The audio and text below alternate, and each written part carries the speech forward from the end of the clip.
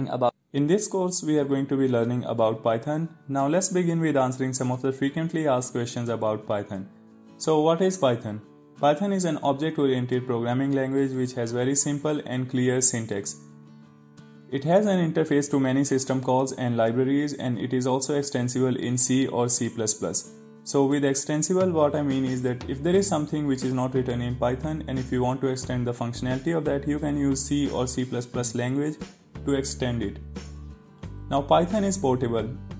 The same Python program can run on Windows as well as on Linux system. So who invented Python? There is a gentleman which is called Guido van Rossum. He is the one who invented Python.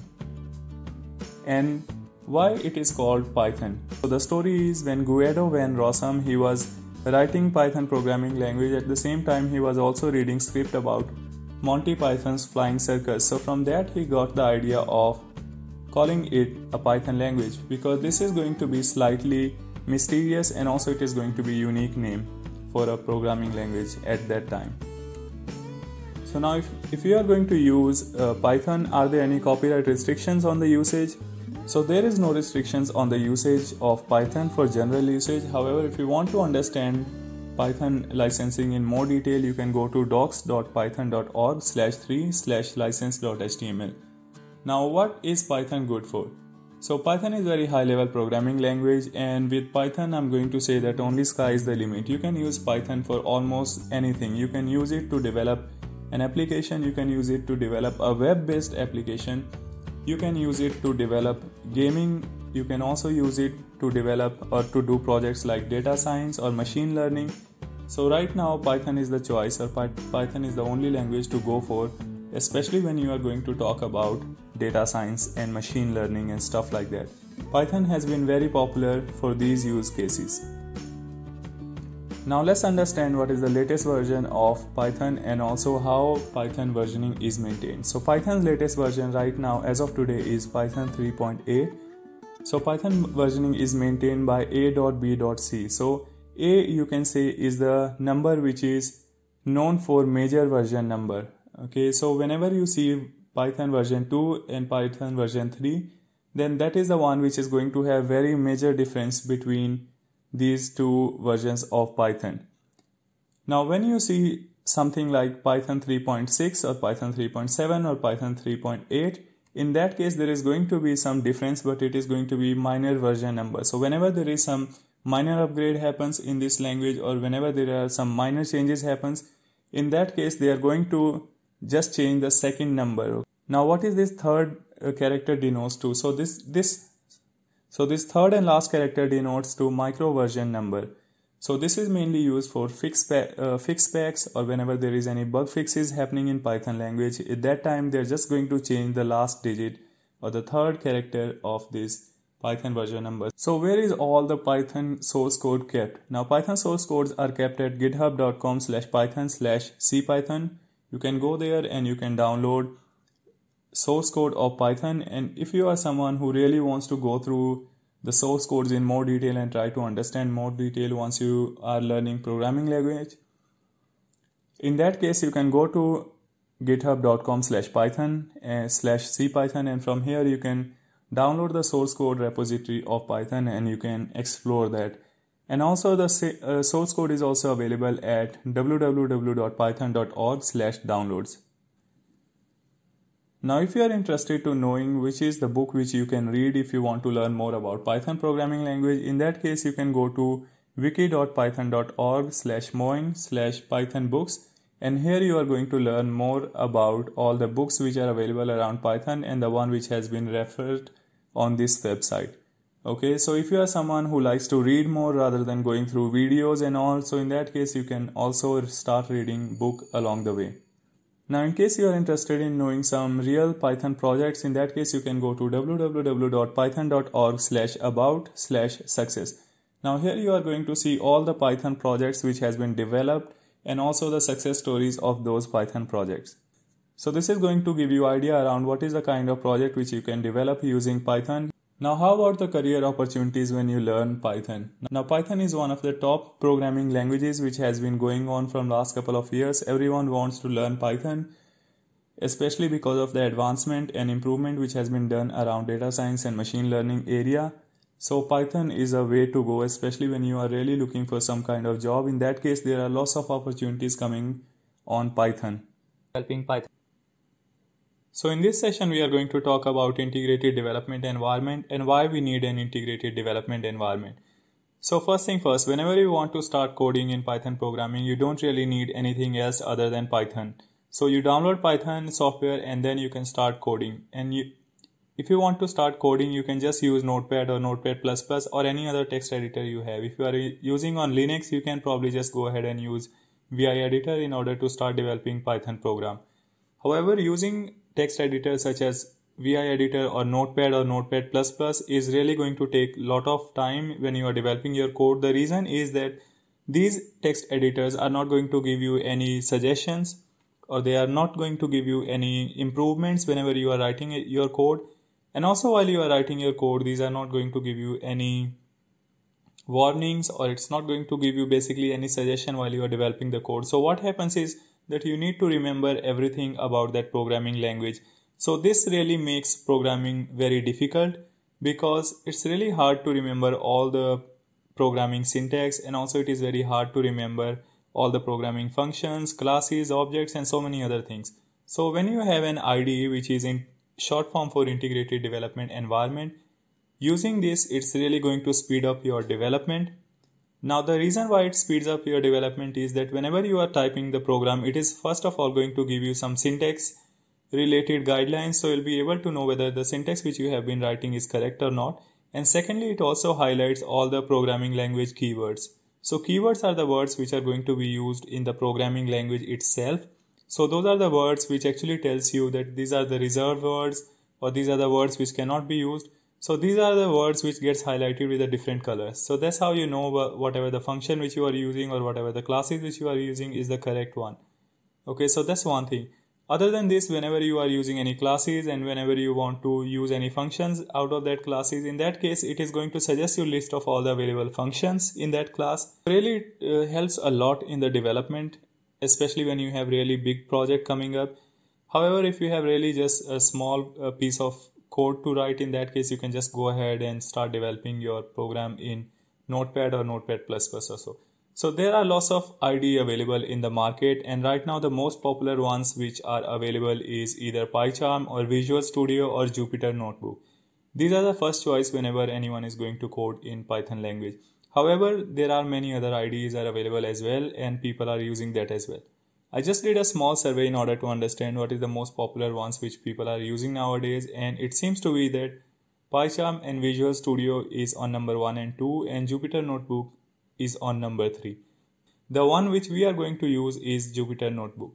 Now in order to install Jupyter Notebook you can just install something called Anaconda software. So once you install Anaconda software, Anaconda is also going to install Python for you. So really the only thing which we need to install is just we can go ahead and start downloading and installing anaconda and then we are ready to start coding with python language. So if you want to read more about anaconda you can just go to anaconda website and read from there. Here is the wikipedia definition of anaconda.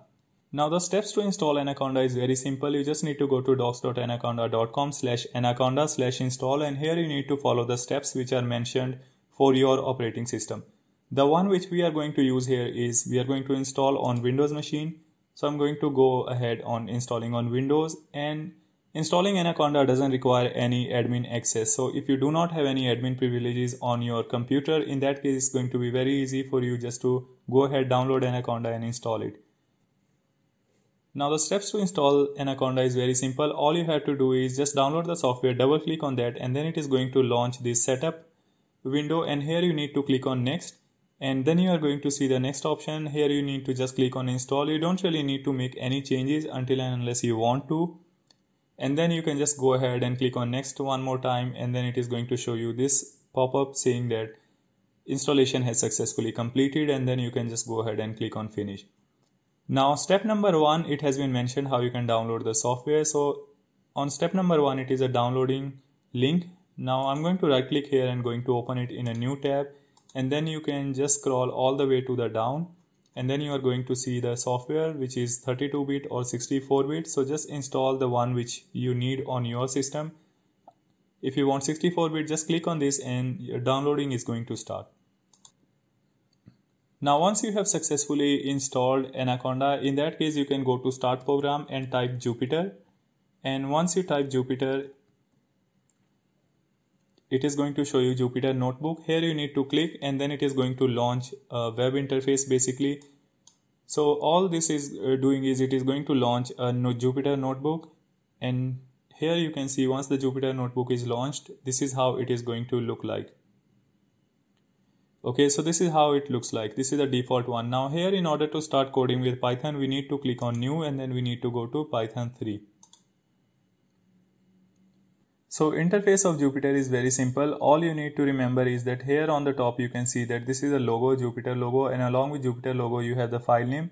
So here I'm going to uh, click and then it is going to show you a pop-up window. Here you can change the name of the file. So in this case let's say I'm going to name this file as my program 01.py okay so you can name any program just make sure the file name ends with .py extension this is the extension basically which is for python and then click on rename and then this file name is going to get renamed as my program 01.py so you can literally give any name which you want.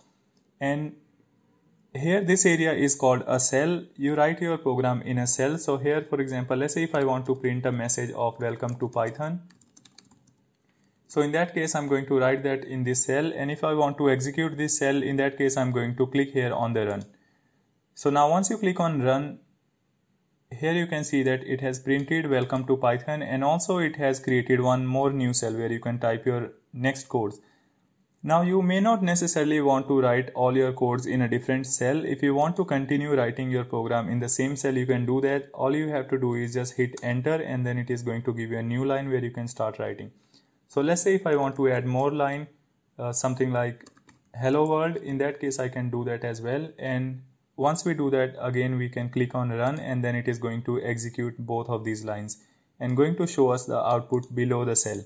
Now the other way to execute the code is you can press control enter. So for example, I'm going to copy this code by using control C and then I'm going to paste this here using control V and now if I want to execute this code I'm not going to click here on run I'm just going to use shortcut which is control enter and now you can see that you have the output here which is called welcome to python and hello world. Now if you want more working area in that case you can click on view and you can hide this toolbar and also uh, header. So let's click on toggle header and now you can see that Jupyter logo has gone. And you can click on view again and then you can click on uh, toggle toolbar. And now you will see that whatever shortcut area or toolbar which we had is also gone. So this really gives us more working space in order to program. Now let's say if, we, if you want to create more empty cells, in that case you need to press shift plus enter. So using shift plus enter will keep on creating new cells. Okay, so now you can just write in any cell. So for example, now you can see that I have written my code in this cell and once I press Ctrl Enter, I'm going to get the output below this cell.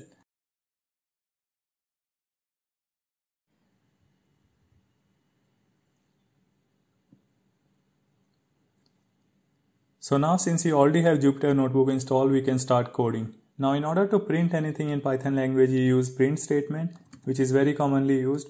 So once you type print statement, since print is a function, you also need to use opening and closing brackets. Whenever you are calling any function in Python, you need to use opening and closing bracket. Okay, so for now, all you need to understand is you need to use print statement in order to print anything in Python. So inside this, you can print anything. So if you want to print any line or any sentences, then you need to use quotes. So inside the quotes, you need to write any string or any uh, lines or any statement. So let's say here we want to write welcome to Python. So now since this is a string, that's why I have uh, put this in quotes or double quotes. Now rather than double quotes, you can also use single quotes. It's going to give you the same output. So let's press Control Enter and now we can see output below this cell. So output is welcome to Python. Now I'm going to create a new cell by pressing Shift plus Enter now here I'm going to use a single quote okay so here you can see I'm going to write the same statement and now we have used single quote i'm going to run it using control plus enter and you can see that we have got the same output so regardless of whether you want to use single quotes or double quotes the output is going to remain the same. So a string can be sur- surrounded by a single or double quote. Now i'm going to create few more empty cells by pressing shift enter. And now here in this uh, cell i'm going to write some comments. So if you want to write comment you need to use hash in the beginning and then you can write any line. Okay so this is the code which is not going to be executed. So for example let's say I want to write this is the code to add two numbers. Okay now this code which you see here this is not going to be or whatever line you see here this is not going to be executed. If I press control enter you will see that we do not get any output below this. Okay now let's say if I have written print 2 plus 2 here in that case if I press control enter now now you can see we have got the output that 2 plus 2 is 4 but we have not got or this statement did not give any error and also it did not resulted anything. The reason is that this is a comment. So comment is really useful only for the developer. Whenever let's say you have developed a big project and let's say once the project was live in production and you face some issue you want to go ahead and troubleshoot the code. In that case whatever the comments which you have written it is going to be very useful and it is going to give you the hint about why you have written that code or what that piece of code is doing. So it is always a good practice that whenever you write code you always need to write very simple concise precise and very neat code. And also you should give all the definition or comments about the codes which you have been writing. Especially when you are working in large organization in that case you may be switching projects or you may be switching organizations or whatever can be the reason. So whenever you are developing a project in that case you need to make sure that you always provide adequate comments. So in case you go out or you move out to other projects and when you hand over the piece of code to any other person he should be able to understand the code by just looking at the code which you have developed. Okay? And that is going to only happen when you have provided proper comments. Now, if you want to write multiple line comments in Python, you just need to keep on using hash and you can just continue writing lines. Okay, and if I press Control Enter, you can see the output is still same. So these two are uh, lines are now these two lines are now comments. Need to understand some of. So when you begin programming, you need to understand some of the things which are like programming fundamentals.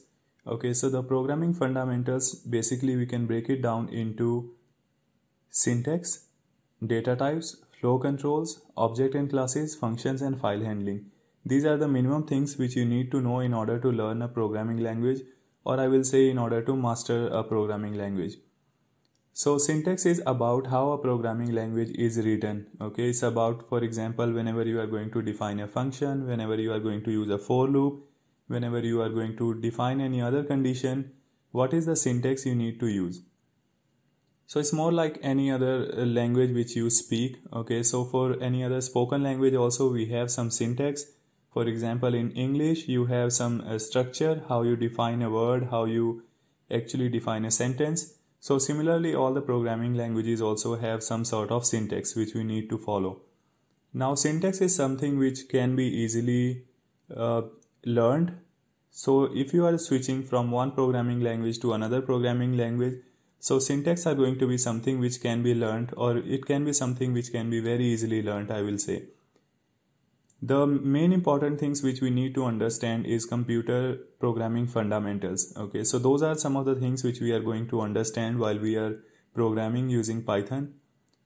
So the other thing which is very important and also which we should be learning is data types. So data types are the one which tells computer what is the type of data which we want to play with so for example, when you are dealing with a content in a file, or let's say when you have data in an Excel file, you have different types of data. Okay, and for computer, it is very important to know what is the type of data which you have.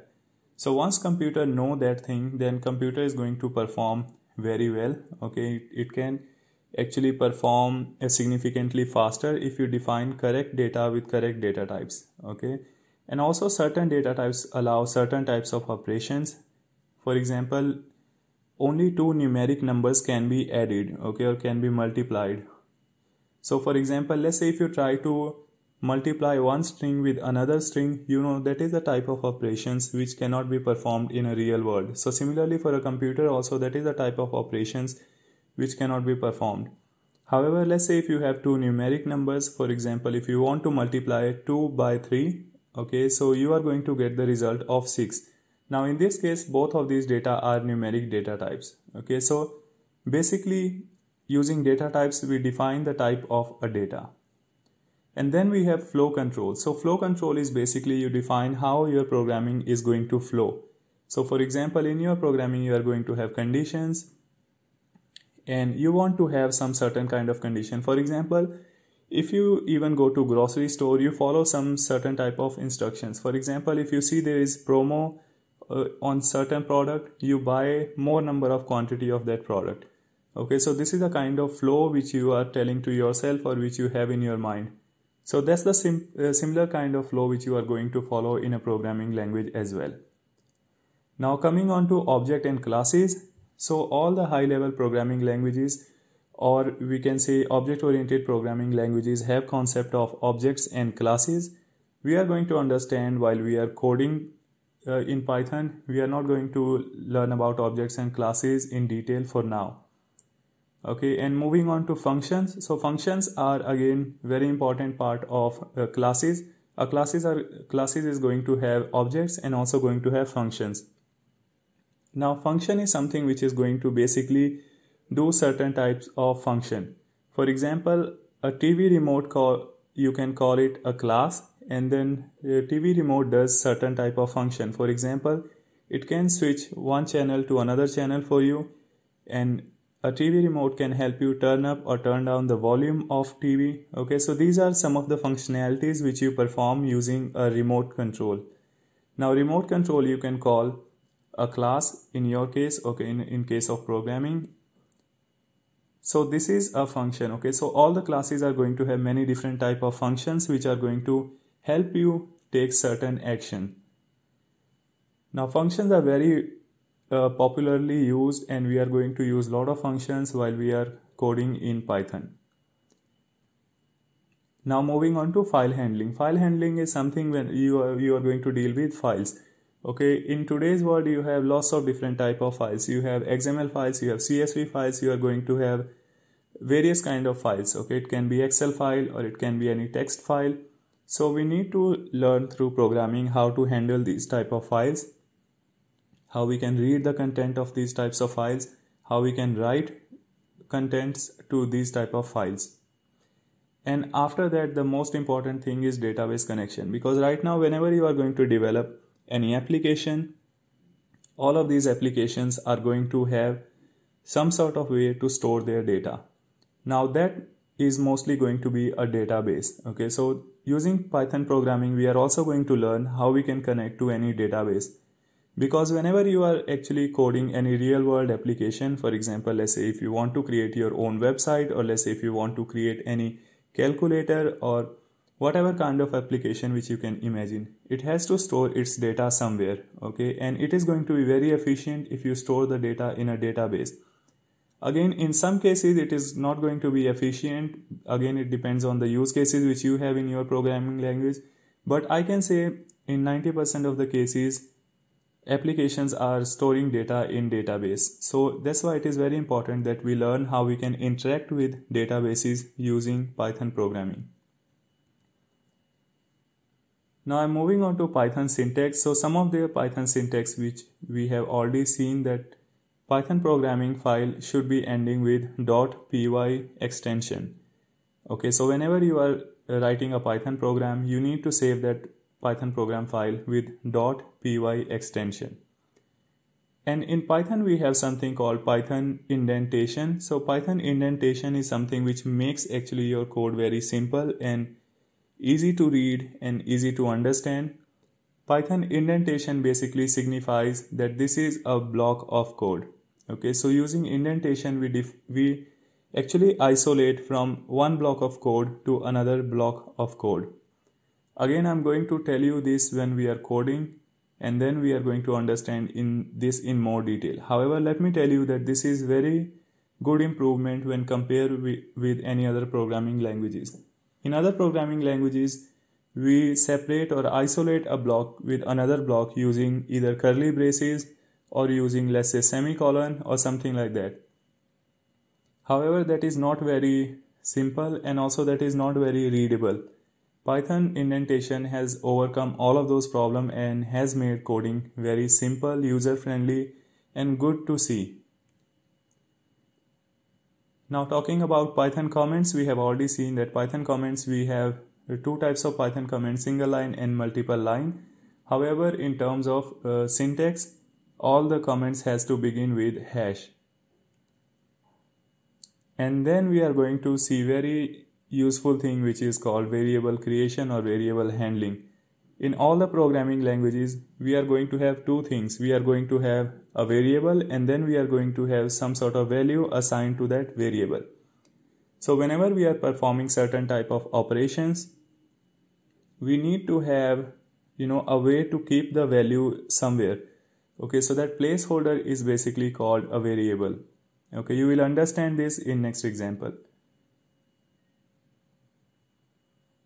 So coming back to data types, we have many different types of data types which we are going to use. Again, depending on the use cases which you have, you are going to use different type of databases. However, in Python, you can see that these are the types of uh, data types which we have available. I have put it all together in a single sheet. So if you want to take a screenshot of this, you can take it. And if you want to bookmark, you can bookmark. However, we are going to discuss all of these data types while we are programming okay so let me start with variables and how we actually define a data type okay so in python language defining a variable is very easy. You just begin by typing the name of the variable. So in this case you can see that xyz is actually a name of the variable. So similarly if you have different types of data for example you may have integer data you may have float data you have complex data or you may have list data a tuple data or range data, all of those can be defined using the same approach. So you have the value and you have the variable name. You, you keep the variable name on the left and then you give equal to symbol and then on the right side you give or you assign the values to that variable. Okay. Now syntax is very simple and it is going to be the same. One thing you would have noticed that from one data type to another data type, there is no segregation. So for example, depending on the value which you have, Python is going to automatically assume the correct data type for that value. Okay, so for example, here also if you see I have just typed xyz is equal to welcome to Python and then Python have understood that this is a string and that's why it has taken into consideration that this data is going to be of string data type and if you if you want to see whether the what is the type of xyz variable then there is a function which is called type function. Using that function we can see what is the type of this data type. So i'm going to tell you how we are going to use type function as well. So the syntax is going to be same regardless of what is the data type which you have. Here i have given example of all the data types which are available in python. And if you see all of these are basically following the same syntax now, if I have to run the same code in Jupyter, you can see I have uh, run all of these data types in Jupyter and we have got the output. Now here I was talking to you about type function. Okay, so here you can see when I'm defining a string data type xyz is equal to welcome to Python, then there is a type function which I'm using and inside the type function I'm passing xyz and then I'm printing this.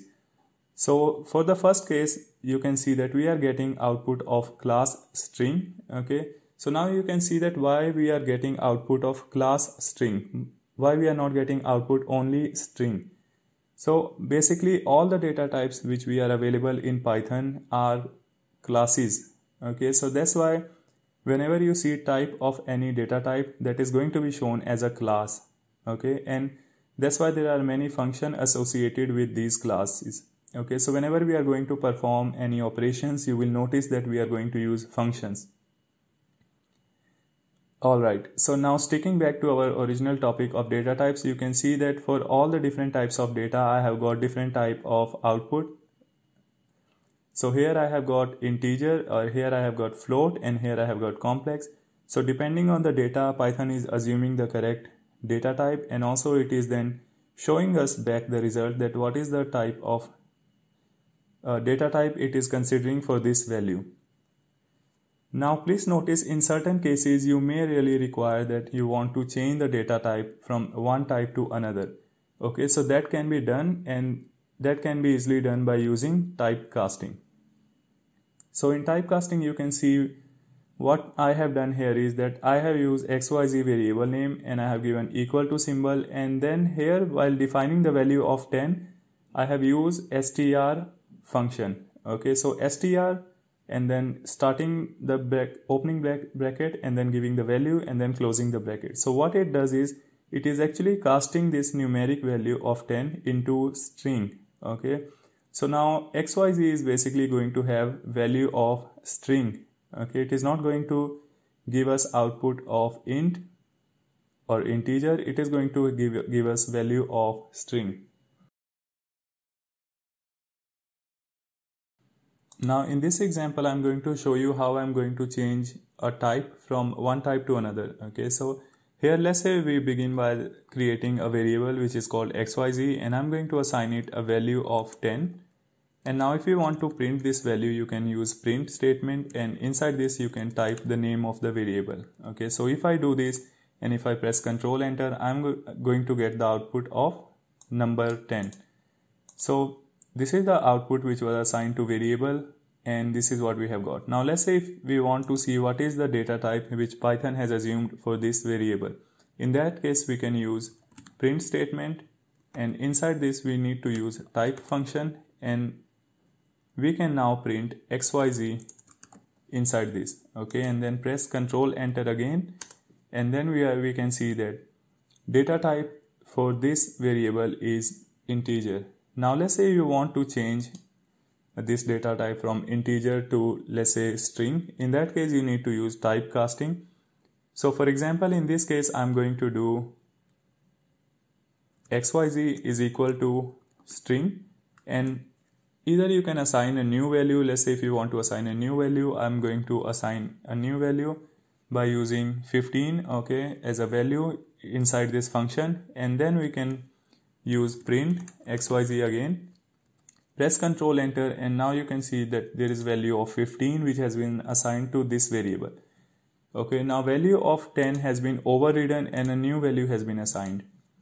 Now let's say if we want to print and we want to see what is the type or data type of this variable. So in that case we are again going to use print and type and inside this function I'm going to use xyz and the syntax is going to be uh, remain the same regardless of whether you are using Jupyter or you are using PyCharm or any other IDE. So here I'm going to press Control Enter and let's see what is the output which we have received this time. You can see that we have received string output. Okay, so this is the data type when you have done typecasting and this is the data type when you had not done the typecasting. Okay, so using typecasting you can change output of a variable from one data type to another data type.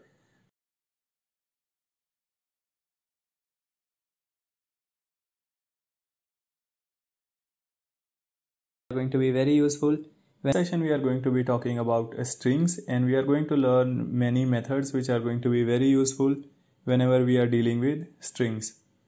Now as we have learned in previous session that you can Declare a variable just by typing the name of the variable and giving an equal to sign and then assigning some value. Okay, so in this case I'm I am using a string which is called welcome to Python and this is being assigned to a variable which is xyz. Now in Python all the strings are actually an array. So when we say an array all the strings are going to have an index number. Okay, so here you can see whenever you typed welcome to python so welcome to python internally is going to look like something like this in a form of an array. And also it is going to have an index okay which is also called array index. So index always begins with 0 and then it is going to increment by 1 okay? So whatever first letter you have typed is going to be have an index of 0 and then it is going to be increasing by 1 okay so here welcome to python. Internally is going to be assigned something like as shown here in the screen. So it is beginning with index 0 and ending with index 16 okay so as you can see after welcome we have a space. So even a space is going to occupy a position in an array. Okay so here you can see seventh position of array is actually a space. Okay so that is going to be very useful uh, because once you understand this thing you will be able to slice any index. For example let's say if you want to find any data which is at fifth position in this variable. So for example let's say if i tell you what is the letter which you have at fifth position. So in this case you can say that array index fifth position you have value of m. So if you want to search something like that it is going to be very useful for you. Okay so let's understand one more thing which is negative slicing. Okay so uh, let's say if you want to traverse this string in a negative way then you can do that. And this is how actually the values are going to look like. Okay so whatever uh, the string value which you have you can take minus 1 as the last character and then minus 2 as the second last character minus 3 as the third last character and so on. So whenever I am performing any slicing operation in that case if I uh, slice it by minus 1 or minus 2 then I'm going to get values which are associated with this array index. Okay? I think it might be confusing you in the beginning but let's see some examples so that is going to clear many of your doubts. So here you can see that we had a variable xyz and which has the value of welcome to python. So here in Jupyter notebook I printed xyz and then we got welcome to python output. Okay and now let's say if you want to print only the first character of this string in that case you can use it xyz and then you need to use uh, this square brackets. So you need to open a square bracket and close a square bracket and in between you need to provide array index position. So here I have provided 0 and that's the reason we are getting value of w. Okay because at position of 0 we have value which is w. Okay so this is actually very simple. So if you want to print any other value or ninth value let's say or or 15th value or whatever value you just need to change array index position here and you are going to see that value. Now string slicing is another very useful operation which we perform whenever we are dealing with uh, strings in python. Okay so now let's say if you are interested in getting only first uh, seven characters of a string okay let's say this string is very long and you just want to see first five characters or first seven characters. So in that case you are going to use slicing operation. So in order to use slicing operation all you have to do is uh, you need to use that variable name and you need to start and you need to basically start and close square bracket and in between them you need to provide some range. And that range is going to be uh, separated by using colon. So here you can see that starting range I have provided as 0 and ending range, range I have provided as 7. So the output which I have received is welcome. Okay, that is because it has given me value starting from 0 until 7. Okay, so value we have got is welcome. And now here uh, you can see when I have done negative slicing in that case starting position I have given minus 6 so it has picked the value from here. And in the ending position I have not given anything. So basically from minus 6 it is going to go all the way until the end of the string. Okay? So that's why I have received value of Python. However let's say if you want to slice it and if you want let's say value from minus 6 to value from let's say minus 2 in that case again in the ending position you can provide minus 2 and in that case it is going to give you a different output. So let's do some hands-on and let's see output of these in uh, Jupyter notebook. So now we are here on Jupyter notebook and here you can see the same output uh, which I had shown you previously.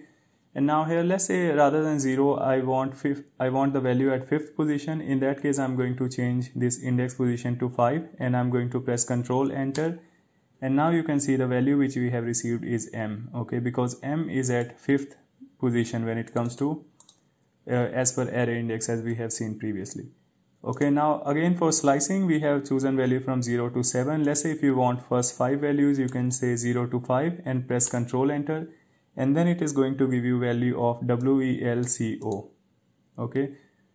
Now uh, notice it has given you the 0 first second third and fourth okay? So whatever is your ending range it is not inclusive of that ending range okay? So value has started from 0 and it has gone all the way to whatever your ending range is and minus 1 okay? So you have not got the value at fifth position but what you have got is value from 0 until fourth position.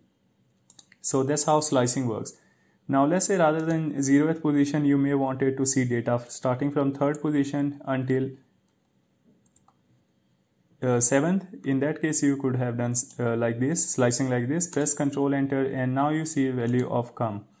Okay so third index position is C as you can see here and that's why we have got output of COME okay now in case of negative slicing we already saw that if you give value like this minus 6 then it is going to start from negative 6th position which is in this case is starting with P and then it is going to go all the way until the end if you have not provided any ending number.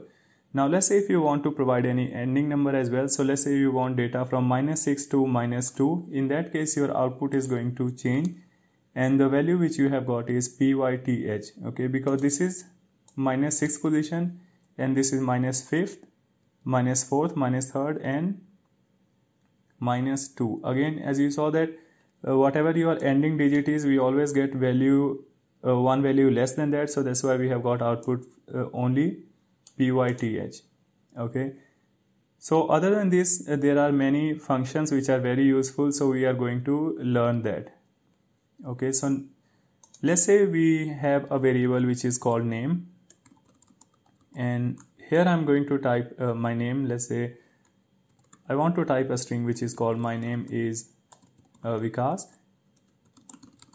and my age is let's say here you want to print your age okay? Now uh, one thing is before we go into discuss this uh, let's talk about string concatenation. So let's say if you have two strings uh, variables so for example let's say i'm going to define a variable one it is going to have uh, let's say your first name. So let me change this variable name to first name okay? Let's say this variable is called first name which is having value of Vikas and then I'm going to assign a new variable which is going to be called last name and this is going to have a value of my whatever my surname is or whatever thing uh, which you have taken in this position. Okay so here now let's say I want to print first name and last name. Okay and I want to assign this value to a new variable which is called full name. Okay so in that case I can do first name plus last name. And now if I print full name in that case the output which I am going to receive is going to be my full name. Now notice we do not have any space between them because whatever the first name was and whatever the last name was there was no space in between them. So if you want to have a space in between them then you can after the plus you can uh, start quote and then you can give a space and also you can close that quotes and then you can press plus again. So basically here we are using a string again which is having only a space as a value. Okay so now if I run this program this is the output which I have received. Okay so hope this is very clear. And now let's say here I also want to show my age. Okay so let's call it age and let's give any number here. So let's say my age is 63 or whatever number you want to give you can give that number. And now let's say in the full name or rather than full name let's create one more variable which is called full info. And here I'm going to say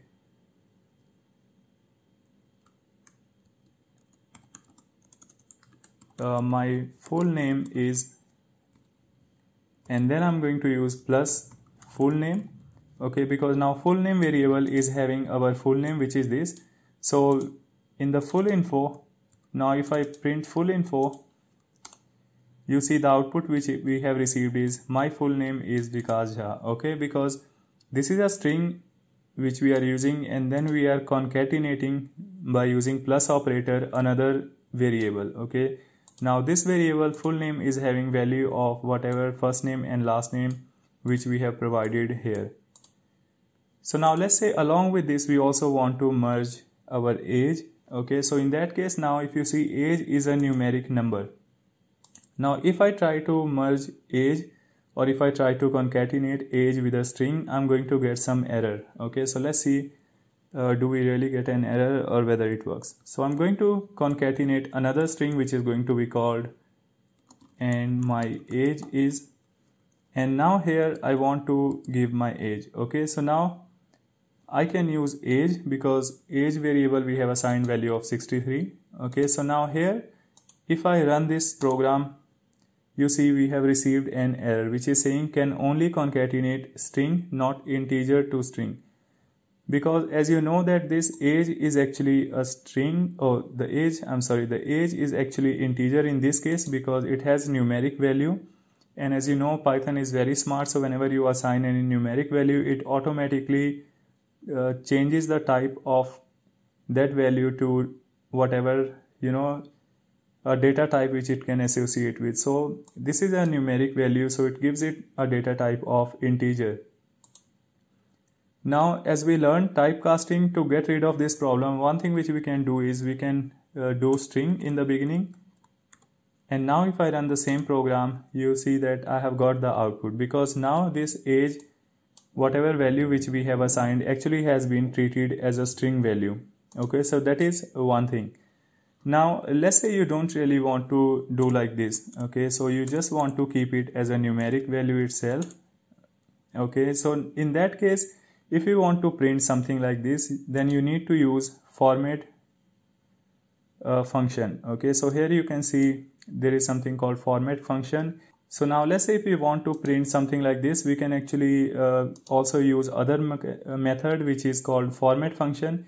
In this case, let's say I have a age variable which is having value of 63 and let's say here I want to print my age in that case we can use format function. So how format function works is whatever your string name is we need to use dot format along with that.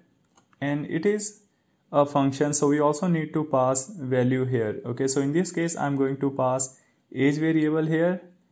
Okay so what this is going to do is whatever value which we have here is this value is going to be replaced with wherever you have used these curly braces okay curly opening braces and closing braces this is what you need to remember so now if I press Control Enter, you can see that we have got output of my name is Vikas and my age is 63. Now let's say if I change the age here from this to whatever other number, in that case now you see value is changing here as well. Okay, so now rather than using this variable, I could have directly used value of 20 here and that would have worked as well. Okay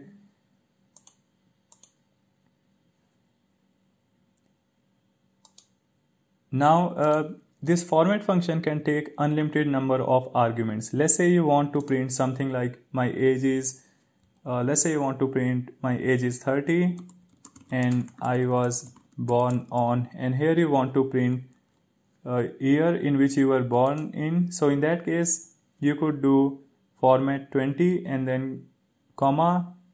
And I guess that would be let's say 1989 and hit control enter. And now you can see the output which you have received is my name is Vikas and my age is 20 and I was born on 1989 okay so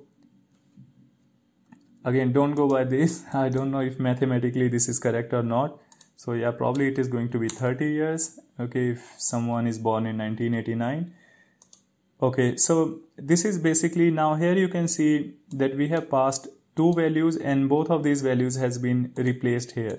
Now let's say rather than this you wanted to use second value at first place and this first value at second place. Okay in that case again whatever you have used here are stored as an index. Okay so first value is actually at index position 0 and second value is at index position 1 so in that case let's say I wanted 1989 first. I could have changed it to let's say 1 and here I'm going to give index position of 0 okay so in this case if I press control enter now you notice values have changed. Okay so because here we are specifying that for the first curly brace, use the value which are at index position of 1. So at index position of 1, the value which we have is 1989. Okay, so again depends on how you want to format the values, you can use format function. Okay, so now let's move on and let's talk about string length function.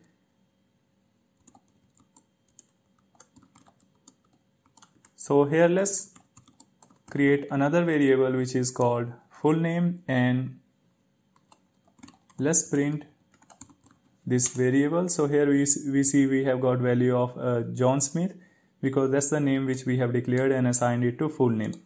Now let's say we are interested to know what is the length or of this name. So we wanted to see, we want to know how many digits or characters are basically there in the name. So in that case we could have used length method so syntax is very easy. All we have to do is we have to use len and we have to do a opening bracket and a closing bracket and we have to use full name inside that. And let's press control enter and now you can see we have got value of 10 okay because total length of this is 10 now let's say you want to assign this length to any other variable so let's say I'm going to call it full name length and I wanted to assign whatever the length is to this variable. So in that case we could have done something like uh, this. Okay so what this is doing is so it is calculating the length of this variable which is having value of John Smith and it is assigning the, whatever the output is to full name uh, full name length. Okay so I'm going to now Simplify this print statement by using print and full name length. Okay, now if I press Control Enter, we are still going to get the same output. Now let's say I change the name to Martin and if I press Control Enter, now you see value or the output has changed as well. Okay, so this is about using length function. So length function is very useful when actually you want to let's say you want to know what is the total number of array and you want to slice using for loop or while loop or any such mechanism okay in that case length function is very useful. And mostly it is going to be used when you want to just know like what is the end boundary. So for example let's say you have 10 values stored in full name and you want to know like what is the maximum uh, size of this array or something like that. In those cases you want to use length function. Okay now now uh, we are going to see how we can use a strip method. Okay so here let's say I have name which is called John Smith. And let's say we have many spaces in the beginning and ending of this name. Okay let's say the data which we had was a junk data and it was not properly uh, formatted. In that case we want to remove these leading spaces or whatever spaces okay which we have in the beginning or end of the statement in that case we can use strip method. Okay so the way to use that is very simple. So all we have to do is we have to use the variable name which is full name and then we use need to use dot and name of the method. Okay so name of the method is strip method. And again method also for methods we need to use these opening and closing brackets okay so now if I print this now you see we have got value of John Smith. We have not got these extra spaces.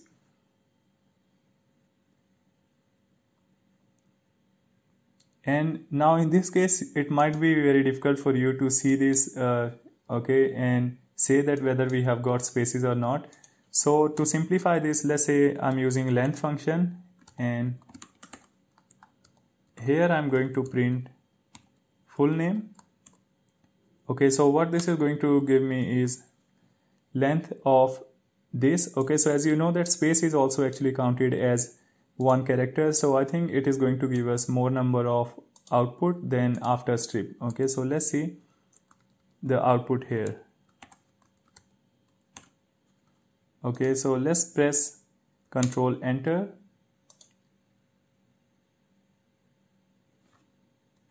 okay so syntax was wrong. I had missed one closing bracket. So that's why we got the error. Okay so now you can see we have got output of 17 and 10 okay so in the beginning we had spaces in the beginning and end of the name. So that's why total number of uh, length of this string was 17 and after we removed these spaces okay starting and ending spaces uh, by applying strip method and then we saw length function has giving giving us the correct output which is 10 okay so this name is having total 10 characters.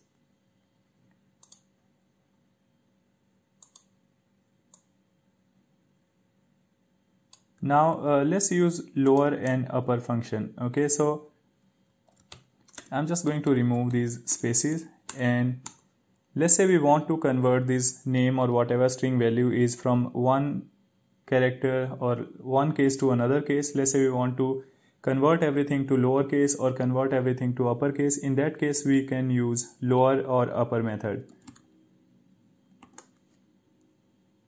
So I'm going to say full underscore name dot method name which is lower. And again method name also needs starting and closing bracket. So do that and press Control enter. Now you see we have got output all in lowercase now you can change it to upper and it is going to show the output all in uppercase. Okay so this lower and upper function is very useful whenever you are doing string comparison. Let's say when you want to compare full name. Okay whenever you want to let's say compare one string with, with another string as you know that python is case sensitive. In that case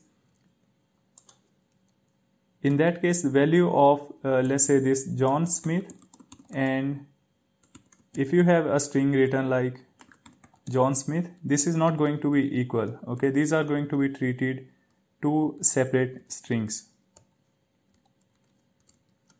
Okay so this is different and this is going to be treated as a different value. Now let's say if you want to compare this and you want to ignore case sensitiveness in that case it is always a good idea that you apply either lower or upper case or upper method function actually to get rid of this case, case sensitiveness.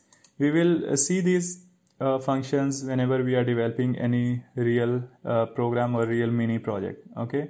So for now you need to know that you have upper or lower method to convert a string to upper or lower case.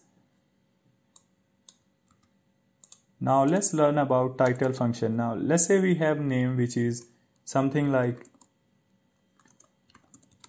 John Smith okay let's say names are not formatted properly and we want to we want initials to be in uppercase. In that case we can do full underscore name dot title and since this is a method we need to use opening and closing bracket. And let's say we want to print it so I'm going to use print statement and then press control enter and now we have value of John Smith. Now guys notice one thing. I have been writing print statement in the beginning but actually when you are using Jupyter notebook this print statement is not required. If you just get rid of this and press ctrl enter still also we are going to get the same output. However if you run the same in uh, let's say PyCharm then you will not be receiving any output. That's the reason I just I'm using print statement in the beginning. Okay so because this code if you run as it is on a PyCharm or any other editor going to give you the same output. Okay? However in Jupyter you don't really need to use this print statement. Whatever your last statement is if that is giving some output then it is going to be shown here. Okay so now let's learn about uh, lower and upper we have already learned and now let's talk about find finding a character rather than splitting. First we will uh, learn about finding a character then we will talk about splitting. Okay so I'm just going to take this name again. And let's say in this we want to know what is the position or at which position a character s exists.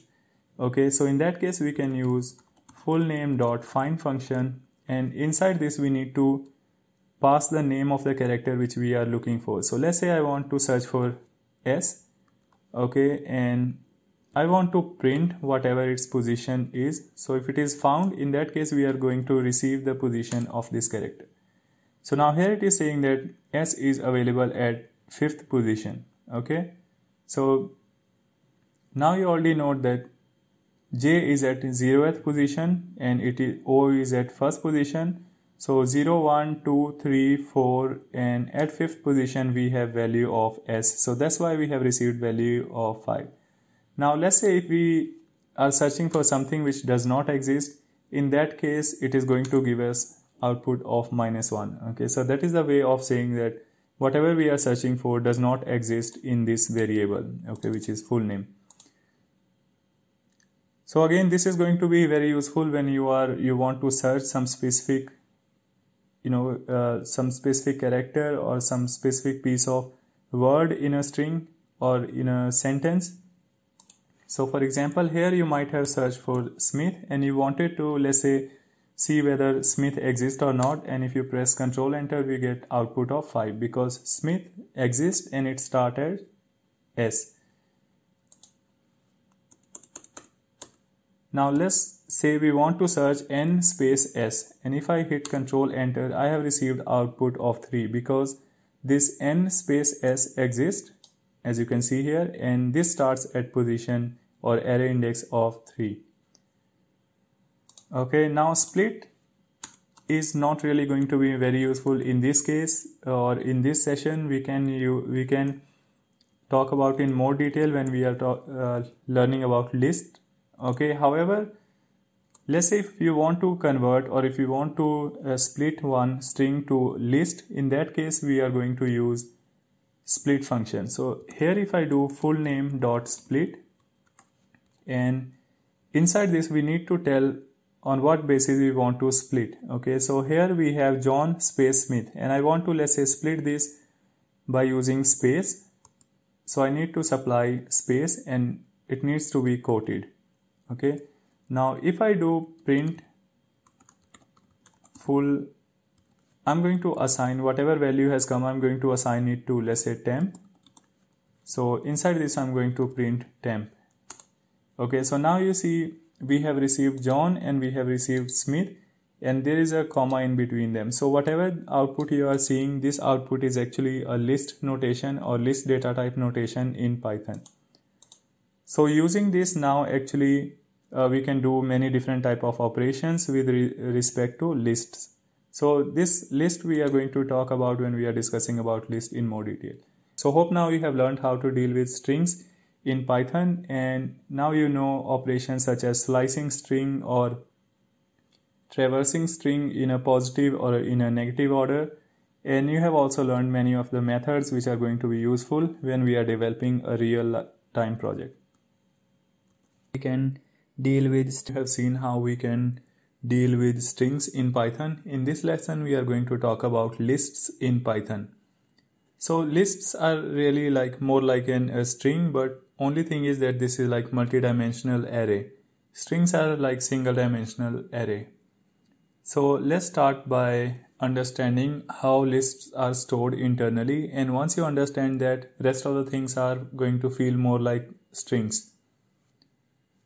So here I have created a variable which is called fruits. And this is how you define a list. Okay, so to define a list you just need to use these brackets, square brackets. So you need to use opening and closing square brackets and that's how you are going to define an empty list. Okay, so if you want to fill members inside that empty list you need to use all the members separated by comma so for example, here you can see that we have one, two, three, four, like four members, or you can call it four elements in this list, and which are name of the fruits. Okay, so we have a fruit name which is called apple, banana, mango, and strawberry. So all of these four uh, fruit names are part of a list variable which is called fruits.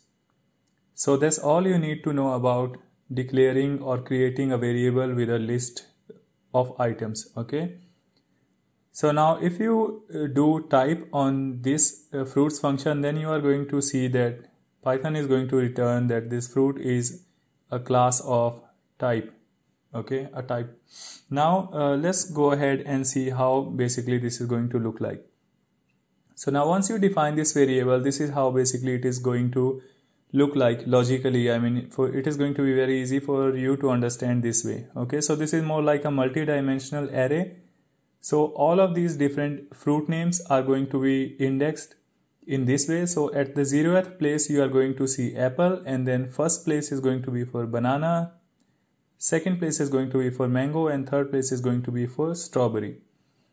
Okay? Now uh, if you see we have array index starting from left to right and also we have array index from up to down. Okay? So whenever you are navigating through list of elements in a list in that case whenever you are using index the first index is going to represent the items which are starting from top to bottom. And then if you want to go through second index in that case uh, this is the index or index number which are going to kick in. So it is going to be better if I explain you by example. Okay so for example let's say if I want to print all the elements of a list. In that case I'm going to use a syntax like this. So I have fruits declared and equal to symbol and then I have list of all the fruit names. Okay? And if we do print fruits in that case it is going to show us the output with all the fruit names as it is shown here on Jupyter Notebook. Now let's say if we want to print only the first element, okay, so the first element is at index position of 0, okay, so in that case this is the syntax which you need to follow. So you need to use fruits followed by the index number and as you have already learned in previous session that to give an index number you need to use these square brackets okay so syntax is very similar to how you uh, navigate through or traverse strings. So now once we do fruits 0, we are going to get the name of the fruit which is at position 0. Okay, so that's why we have got output of apple. Okay, because apple is at position of 0 index. Now let's say if I want to see what is the position, what is the letter of at 0th location for the first element okay in that case basically we need to use fruits 0 so fruits 0 is going to give apple and then out of this apple we are inter interested to know only the position or only the letters which are at first location so that's why once i specify fruits 0 and then from whatever the uh, list we have got we want to see 0th item at that okay in that element so that's why now here you see we have got output as A because out of apple we were interested only at 0th element. Now let's say you wanted list of or let's say for the first item you wanted to see first three characters. In that case again whatever slicing you have learned in previous session for strings you, you can use the same. So in this case you can see we are interested in fruits which is at location 0 or index position 0 which is apple and then out of that element we are interested to know only first three letters or you can say first three characters so once we do 0 to 3 so this is a range okay this is a range for uh, strings and this is what we have learned in previous session. So once we do that we get an output of app so here you can see that from 0 until 3 as you know that when you are slicing whatever you specify as the end range that is not included okay. So that's why when you specified from 0 to 3 3 was not included only 0 first and second was included and you got the output of app okay so hope until now everything is very clear and now we are going to move on to hands-on session. All right uh, so this is how basically you create a fruit variable with name of all the items or elements.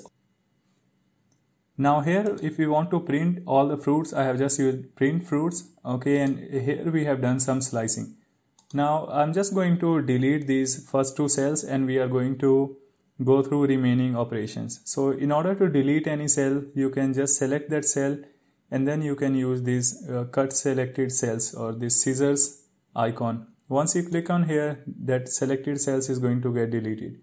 So I want to delete this one as well. So I'm going to select this scissors symbol again and now uh, whatever the unwanted items or cells were uh, are now deleted. Okay so now what we can do is let's create some more uh, working space by going to view and clicking on toggle header. So now header has gone. And now here you can see we have list of all the fruits. Okay so i downloaded this list of fruits from internet and i got so many number of fruits which i'm not even aware of. So yeah so all of these now i have assigned to fruits variable. And notice here i have given only single quotes. So it doesn't matter. You can specify string using single quote or double quotes. It is going to work the same way. Okay so now these are the number of fruits which are which we are going to assign to fruits variable. So once you do that click on control enter and then this is going to run now let's say we want to print all the fruit names. In that case you can just see just say print fruits and click on control enter. And here you can see list of all the fruits which are available. Okay. So in this example you can assume that we are working or we are uh, let's say working on a software which is going to be used in a grocery store. And you are going to create some of the operations which are very frequently used in a grocery shop okay so let's say uh, a customer entered into grocery shop and he asked one of the staff that what are the fruits you have available in your grocery store? In that case he can just run print fruits and he can get list of all the fruits which are available okay in the grocery store. Now uh, let's say if somebody is interested to know that at which position or in which rack you have kept okay uh, some specific fruits.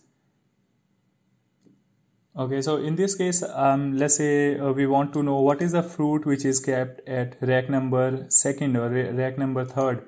Okay so i'm just going to change it to let's say we want we are interested in knowing what is the items kept at rack number two.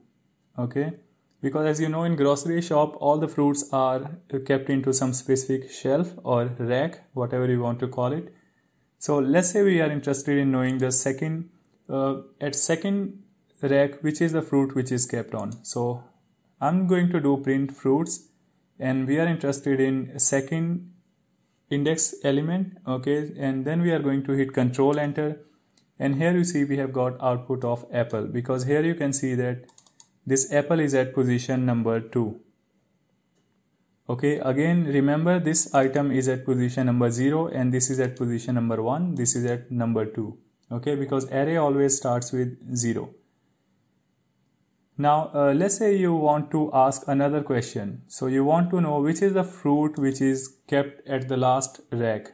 Okay in that case again as we uh, did in string whenever we want to see the last element we can use negative number. So in this case also it is going to work the same way.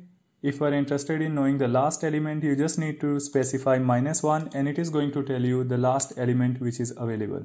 Okay? Now let's say if you delete this last element here and we also need to run this again. So this fruits these new values are going to get assigned to fruits. And now if I run this again this fruits minus 1 and this time you are going to see that we have got different output because the last element is now white sapote okay? And here also if you want to see list of all the fruits then you can run this again and now you can see the output is uh, different.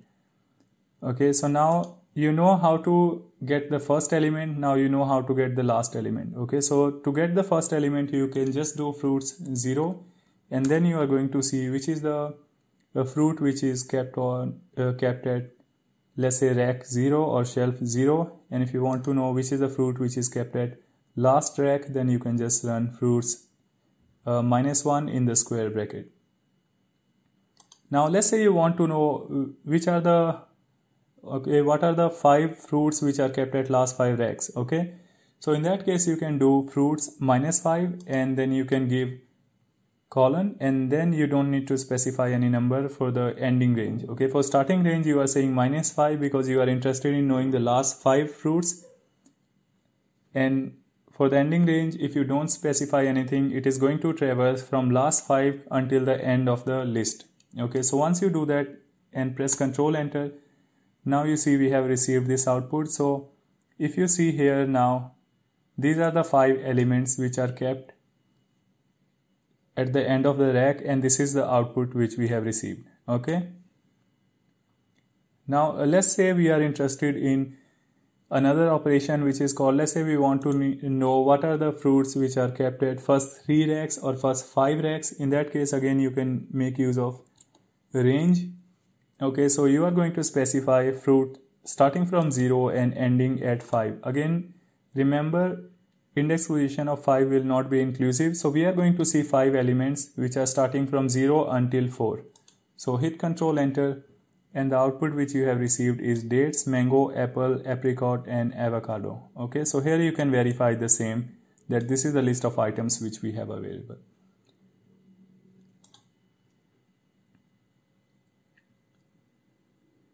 Now uh, let's say that you uh, let's say that all the bananas are uh, sold out in your store. In that case you want to update the value of banana okay and with strawberry. So what whatever rack or whichever rack which was used for banana now you don't want to keep banana you want to keep strawberry there okay? So in that case again this is comment line i'm just going to delete okay? So in that case basically first you need to find what is the element okay or what is the position or you need to know basically which is the rack number where banana was kept okay. Now to find the rack number where banana was kept we use index okay index function. So i'm just going to comment remaining lines. And now here you see if we want to search any items and we want to know at which position or which index number that item is kept at then we can make use of index function okay so here i'm going to use fruits which is a variable name which is having list of values and then dot index. And inside that we are passing the variable or we are passing you can say the list of item which we want to search. Okay so here i want to search banana. So i'm just going to hit control enter and you see the output which we have received is number 5 because you can see here in the list that banana is kept at index position of 5 okay?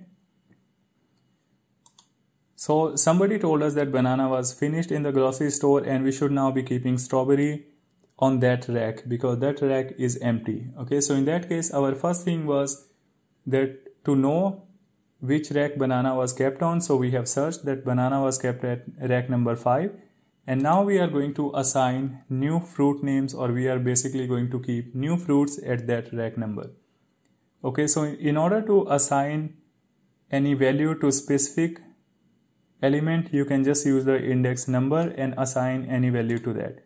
So here i'm going to do fruits 5 is equal to strawberry and hit control enter.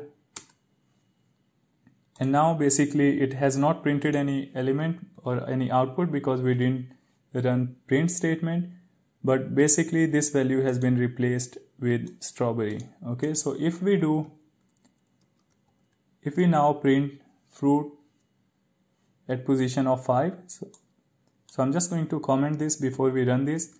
And now if I want to print uh, fruit element number 5 we are going to get output of strawberry because now we know bananas are sold out and now strawberry has been kept at the same position where bananas were kept. Now uh, let's say there is a customer came and he was interested he's interested in knowing do you have mangoes in in stock in your grocery shop? Okay? So in that case if we want to answer this question we can actually search any specific element in our list. Okay? So for example in this case i'm actually searching for uh, let's say we want to search for mango which is we know it is at position number two. So in that case basically we need to use an uh, an if statement okay so here we need to type if and followed by the element which we want to look for. And then we need to type in space fruits and we need to use this colon. Again do not worry about this if statement. We are going to learn this in more detail in our upcoming sessions. So for now basically all you need to know is that if you want to search for a specific element in the list you can do that. Okay so here if I want to know if mango is in the stock or not so I can search this uh, fruit in the list of available fruits and then let's see what is the output which we receive. Okay so here if you see if I hit control enter the output which we receive is that yes stocks are available. Okay so we as we know mangoes are still available. So that's the output which we have received. Now we know that bananas were empty and all the bananas are sold out. Now let's search for banana and see what is the output we get okay so in this case i'm going to search for banana and i'm going to hit control enter. And now you can see the output which we have received is basically that there is no stocks available and banana is all sold out. Okay.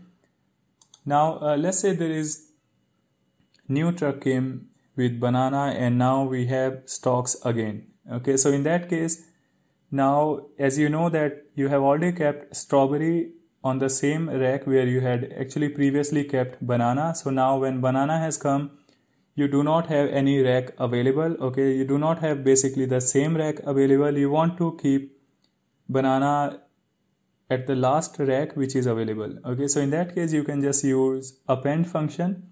So if you do fruits dot append and here you need to specify the element which you want to append.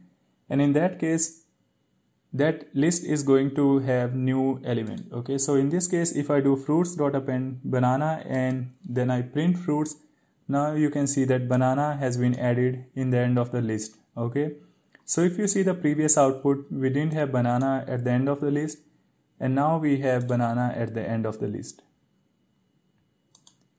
Okay, and now let's say if our, let's say we want to remove one of the fruits or we are no, no longer interested in selling one of the fruits, maybe for whatever reason, let's say we are not getting enough revenue or there is not enough, for whatever, there is not enough benefit in selling that fruit or let's say that fruit itself is not being grown. In that case let's say we want to remove that uh, list of re remove that uh, fruit name from the list of available fruits. In that case we can use remove method. Okay so we are going to say fruits dot remove and we are going to supply the list of item which we want to remove. Okay so in this case we want to remove mango. And once you do that and press control enter now you see the output which we have received is basically doesn't have fruits called mango. Okay so there is no fruit called mango in this case. Now uh, let's say that there are all the fruits which are sold out and you just want to empty the list okay? So once all the fruits are sold out you you want to make sure that correct value is represented in your list as well. So in that case you can empty all the items in the list by doing fruits dot clear okay? So once we do fruits dot clear and hit control enter you see the output which we receive is an empty list okay? So now this list doesn't have any element in the list now let's assume there is another use case. In that let's say we have uh, two branches of our grocery store. We have one branch let's say in location a and then we have another branch in location b okay which is our second branch. Now we really want to consider all the fruits from branch A and branch B in our stock okay?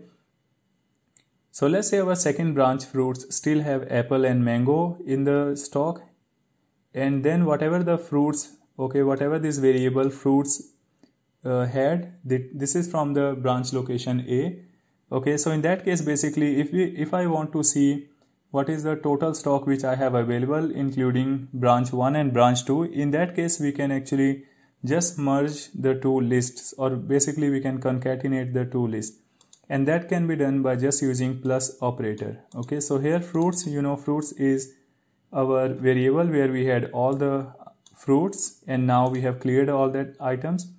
And now there is another variable which is again a list variable which is having two elements apple and mango. So we are merging these two lists and the final output which we are receiving is apple and mango okay?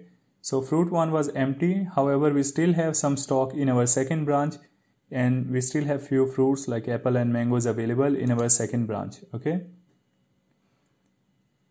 now uh, let's say you had a use case which which is like uh, your second store is closed and whatever the fruits which you had you want to move from second store to the first store. Okay so you want to uh, close down the second store and you want to move all the fruits from second store to the first store. In that case you can use fruits dot extend to extend basically first list itself. Okay so in this case we are not really creating a new variable. We are just extending or extending the list of elements which we had in the first store basically fruits. Okay so in the fruits i'm going to do fruits dot extend and in the parentheses we need to provide the second list. Okay so second list is list of fruits which we had available at second branch fruits.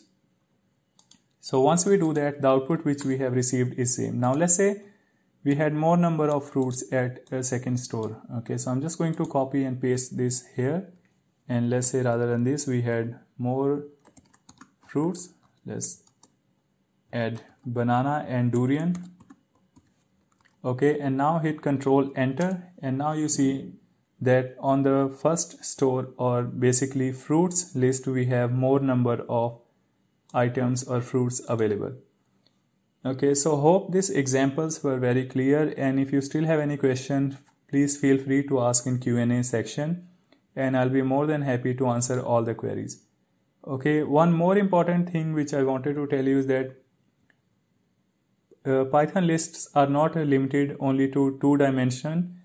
In Python list, you can have n dimension. Okay, so you can have three dimension, four dimension, or basically you can have n number of dimension. So basically you can have list assigned to a list. Okay, and so on. I do not want to complicate it. That's why I have kept everything so simple. So in our use case, later on, if we require to have three dimensional or four dimensional uh, list in that case I'll be explaining that to you.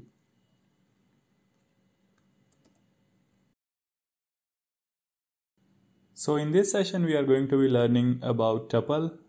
Some people also call it tuple. So whatever you want to call it in this session or in this course throughout the course I'm just going to call it tuple. So tuples are very similar to lists in Python. Okay, there are few differences but we can say like 80 to 85% the behavior is exactly the same or the functions or the methods which we are going to use are exactly the same. So in order to create a tuple the only difference is that you use parentheses rather than using square brackets. So here you can see we have used parentheses, opening parentheses and closing parentheses. And inside that we have given name of all the fruits. And now this is actually a variable type of tuple. Okay? Now in terms of uh, behavior of array it remains the same. So we are still going to have the uh, it is still going to be stored as an index. Okay? And it is still going to be have array index okay? So if you want to traverse or if you want to find out any element at any of the index position you still can do that okay? So if you are running this code in jupyter notebook the behavior is going to be same. So for example here you can see I have run fruits and this code and the output which we have received is with the parentheses. In the case of list we had received the output with the square brackets okay? So that was the difference and now let's say if you want to uh, fetch the element or the first element in that case you are going to use fruits. Along with the square bracket you are going to use 0 again remember you here you are defining index number okay? So here regardless of whether you are using list or whether you are using tuple you need to provide index number in a square bracket okay? So it's not like that here if you are using tuple and here you are using parentheses so here also you need to provide parentheses. That's not the case. This is uh, this number is denoting array index okay? So this is always going to be in square brackets. So now let's say if you want uh, first element or first character for first element. In that case you still can use fruits and inside that you can use square bracket 0 and then you can use square bracket 0 again okay this will give you a because as you can see first character of first element is a Now again you can perform the same slicing operation which you could have performed in list and syntax is exactly the same. Now here you can see we are we interested in knowing first three characters of first element and in this case when we use fruits 0 which is going to tell us the first element and then uh, for second we are like for getting the first three character we are slicing it in the second square bracket from 0 which is the starting range until 3 and the output which we have received is APP okay which is first three letters of apple. Now let's understand what is the difference or what is the feature of tuple okay? So tuple is unchangeable. Now in case of list once you defined a list you could add new value or you could update any existing value now in case of tuple you will not be able to do that. So let's say if I try to replace this apple with any other value in tuple I'm going to get error. Or if I try to add any new element in this fruits I'm going to get error. Okay so tuples once defined it is going to be unchangeable. So whenever you you are having a use case or whenever you are creating a program and you don't want to uh, you don't want a list to be changed okay? Or basically you don't want list of items to be changing. Once you define it in that case you must be using tuple. Now the other thing which we have already seen that it is written with round brackets rather than using square brackets. And the other thing is third thing is that it can be used as a key in dictionary data types. Now this we are going to discuss when we are using a dictionary data type but the thing is since this is not changeable so we can use this uh, tuple in dictionary data type as well. Now list cannot be used in dictionary data type. Okay so basically uh, list cannot be used as a key in dictionary data type whereas tuple can be. Now tuple takes less memory. So if you if you store same amount of data in a list or in a tuple you will notice that tuple has consumed little lesser memory when compared to lists. Okay and also tuple creation is faster. Let's say if you wanted to create a list and a tuple with 1 million items you will notice tuple creation is way faster than creation of lists. So these are some of the uh, scenarios in which you can prefer to use tuple rather than using lists. Now let's do some hands-on and see how this is uh, going to work Okay, so I'm back to the same program which we have used for lists. Now the only thing which I have done is I have replaced square brackets with these parentheses. Okay, now this is going to behave as a tuple. So once you assign elements or values in a tuple, press Control Enter and then you can also, if you want, you can do a type statement. Okay, so I'm going to run a type function on these fruits and then let's see what is the output which we receive. Okay so here you can see the output which we have received is class tuple. So basically this is confirming that this variable is of tuple data type. Now again to print all the elements of a tuple you just need to write the print statement and use the tuple inside that. And here you can see that it has given us the output and output is surrounded by parentheses. Okay and here again if you wanted to fetch the first element you could just do it by providing the index number. If you want the last element you can just do that by providing minus 1 now if you want to uh, see list of last five elements you can still do it by using minus 5 and so minus 5 is the starting range and then providing colon and then providing no value in the end range. That is going to traverse from last five element until zeroth position. Okay so it is exactly the same how we have done it in case of list.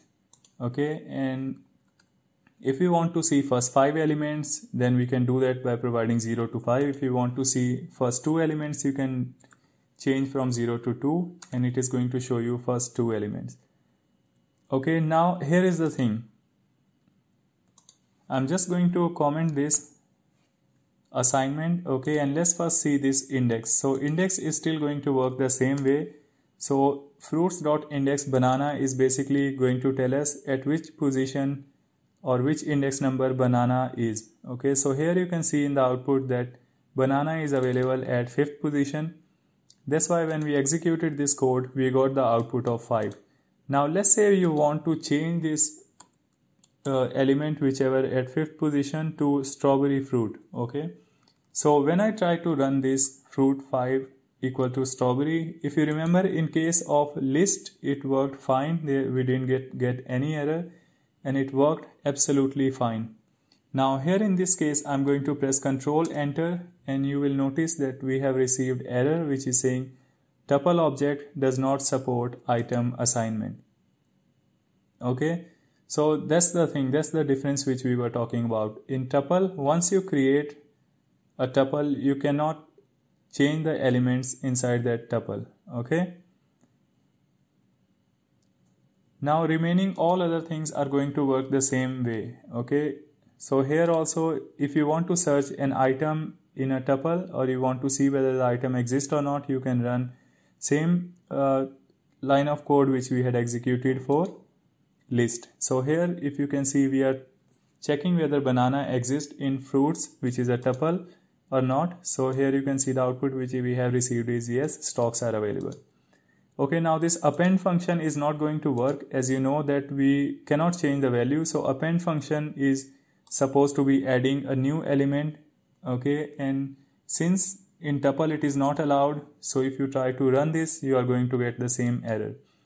So anything which is resulting in changing the value of a tuple is not going to work and remaining all other things are going to be exactly the same uh, like a list. Okay so now i'm going to take you to another example. Okay let's see here we have a list which is called fruits. Okay and in that list we have these four items apple banana mango and strawberry. And now let's say fruit and uh, you created one more variable which is called fruit inventory and in the fruit inventory you assigned fruits okay which is basically a list which contains all of the fruits here. And now you wanted to make sure that you don't change fruits. That's why you actually created a new variable and you made a change in the first element of a new variable and assigned it value of kiwi okay? So let's run first uh, first cell. So you can see this is the output which we have received. Now i'm going to run second cell. And in the second cell we have not received any uh, output because we just assigned kiwi to this new variable which is called fruit inventory. And now let's print the element zeroth element of fruits okay which is the first element of fruits. What do you think will be the output okay so if you guessed output will be apple then you were wrong. Output is actually kiwi. Okay so you saw what happened here. Actually whenever you assign a list to any variable so that new variable actually starts pointing to the same okay list. So whenever someone changes anything in that variable it actually impacts or affects that list values okay so in this case let's say uh, you had developed a very large program. In that program multiple people were working and there were some items which you didn't want to change. Okay so in that case you would have uh, used tuple rather than uh, using list. Okay so in that case if somebody would have tried to change it it would have given error by saying that tuple cannot be changed or modified so now here we are going to see how exactly items are stored in memory. Okay, it is not going to be stored exactly same in the memory, but for me it is going to be easier uh, to explain to you guys and also for uh, to you it is going to be very easy to understand this way.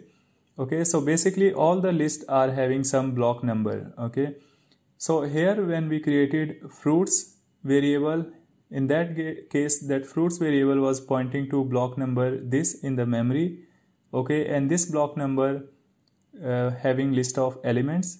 Okay and then when we created new variable fruit inventory and assigned whatever was in the fruits to fruit inventory in that case fruit inventory also started pointing to the same block number. That's the reason when you made change in uh, whenever when you made change in the first element okay and assigned it value of kiwi actually it changed the value here okay and assigned kiwi.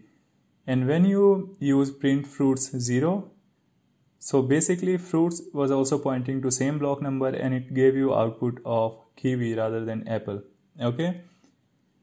Now uh, there is a way to check id number or block number you can say for each variable in python. And for that you need to use id okay? So here if you use print id fruits in that case you can see that whatever number you are going to get that is the number going to be for that uh, block or block of that variable okay so in this case for fruits and fruit inventory for both we get the same id okay which proves the concept that both of these variables were actually pointing to the same block number so now let's see how much memory list and tuple occupy whenever we store elements inside list or tuple. Okay, so here I'm using import sys statement. So this is basically uh, required when we want to run get size of, okay, get size of a function. In this case, you don't really need to worry about this. The only thing which you need to know is that we are actually uh, having two variables. One is called fruits list, other is called fruits tuple and we have assigned exactly the same number of elements or same number of fruits to list as well as to tuple and now you can see that we are going to print what is the size taken by each of these variables? Okay so here i'm printing what is the size taken by fruits list and here i'm printing what is the size taken by fruits tuple. So now let's run this program and see what is the output which we receive.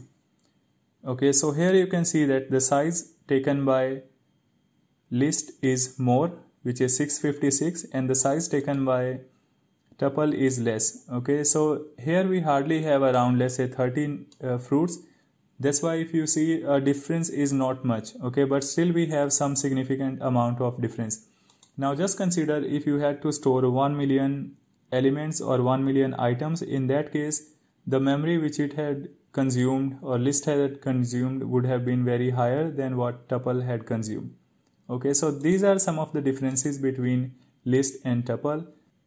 So if you have any query feel free to ask in q&a section. I'll be more than happy to answer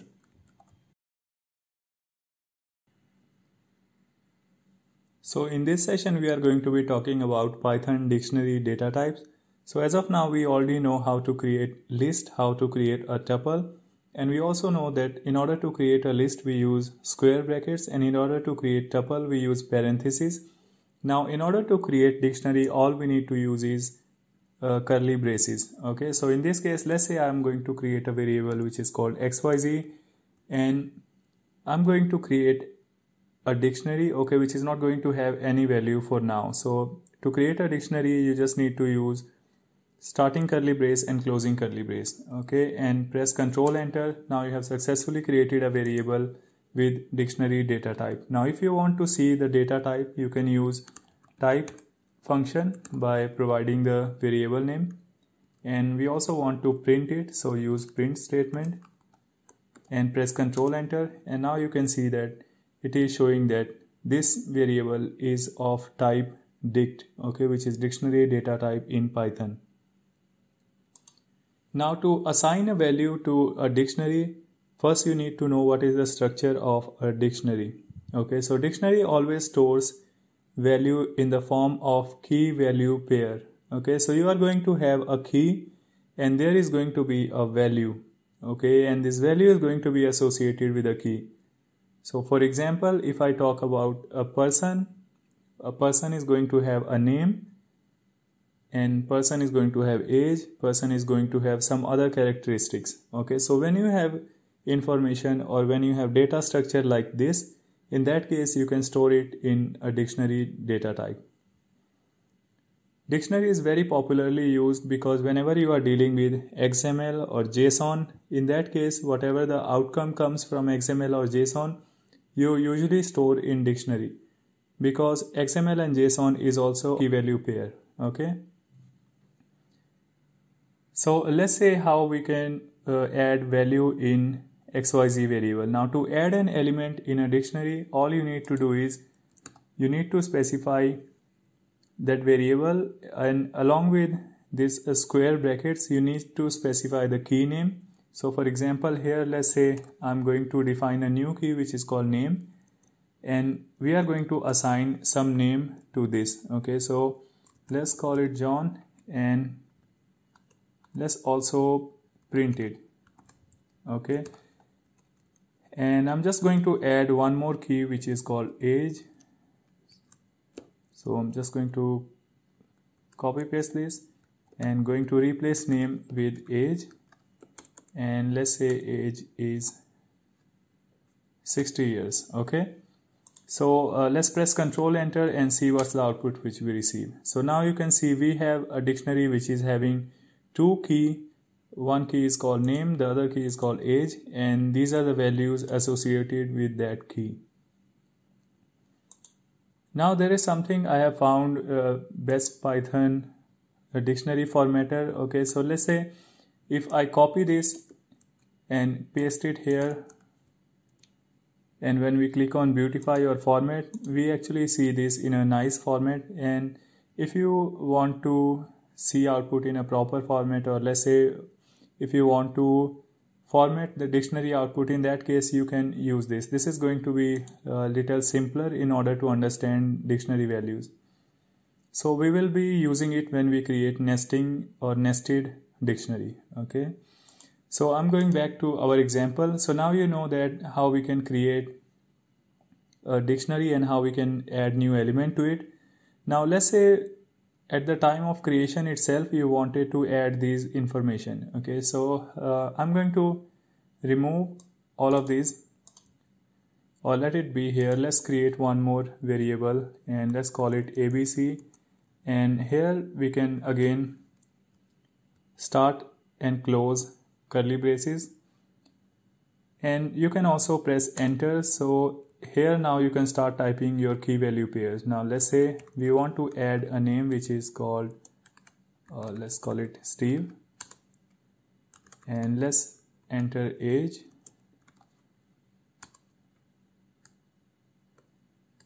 And let's keep gender as well and let's print it. Okay? Uh, we have got some error because we didn't use comma. Okay so for one key value pair to another key value pair you need to use comma. So this is one key value pair and after this we need to use comma. And after age again we need to use comma. And for the last element you don't need to use comma. Now press ctrl enter and you can see the output so this is how at the time of defining a variable, you can also assign value in a dictionary data type.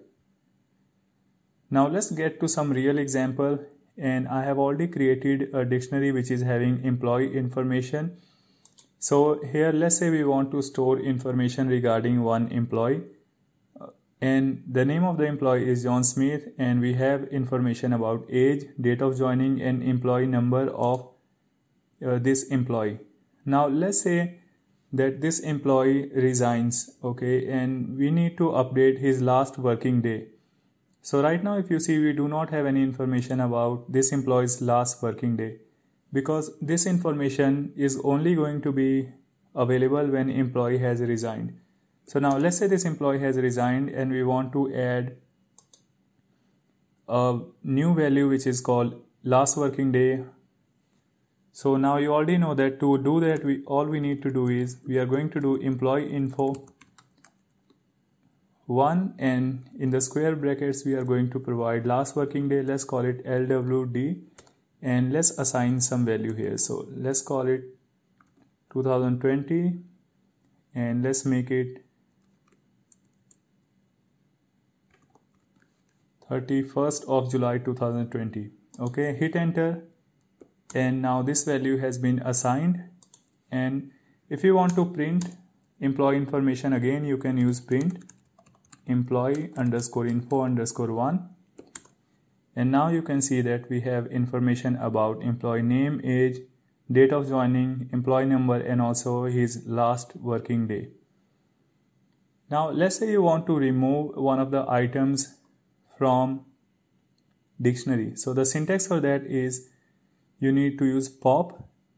So pop method will allow you to remove one of the items from the dictionary. Okay so i'm just going to create few empty cell. And now here let's say we want to uh, let's say we want to remove last working day related information. Okay so i'm going to do employee info underscore one dot pop and here we need to provide the key name. Now key name for this is lwd so i'm going to copy this and provide it here. Again remember key needs to be in quotes. Either it can be in single or double quote but it must be quoted. And then we are going to print employee info 1 again. Okay now press ctrl enter and you can see this employee's last working date related information has been removed. Now, uh, let's say rather than removing any specific key, you just wanted to remove last item. In that case, you could have also used pop item. So what pop item will do is it is going to remove last item from the dictionary. Okay so in this case now you see last item which is available is employee number so if i run this it is going to remove employee number from this dictionary so let's also print this after removing so i'm going to add print statement and let's press ctrl enter and see what happens so did you see now we only have information about name and age and date of joining. We do not have employee number and last working day. Last working day we had already removed by using pop and then we removed the last element by using pop item. So now other important thing which we are going to learn about is nested dictionary. So here you saw we created a dictionary with employee info 1 and now let's say we have details of all the employees. Okay we have detail of first employee. We have detail of second employee. And let's print both of them one by one so this is first employee information and this is second employee information now, let's say you want to create a dictionary which contains information about all the employees. Okay, so that is going to be called a nested dictionary. So here you can see I have created another dictionary variable which is called all employee info and here we have assigned key element which is called employee 01 and employee 01 is having value of employee underscore info underscore 1 which itself is having value of these. Okay so this is basically nesting of all the employees or nesting of dictionary inside a dictionary.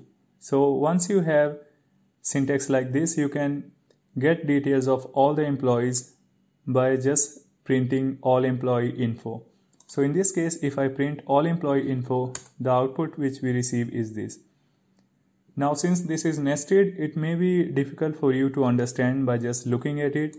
So I'm just going to copy it and going to use this Python formatter going to paste this here and then click on beautify or format. Now you can see that we have information about emp01 and emp02 these are the keys which we had declared here emp01 and emp02 and here in the value we have information of employee info 1 so now info, employee info 1 has been replaced with all the values which were available here. So here you can see this is the employee info which we have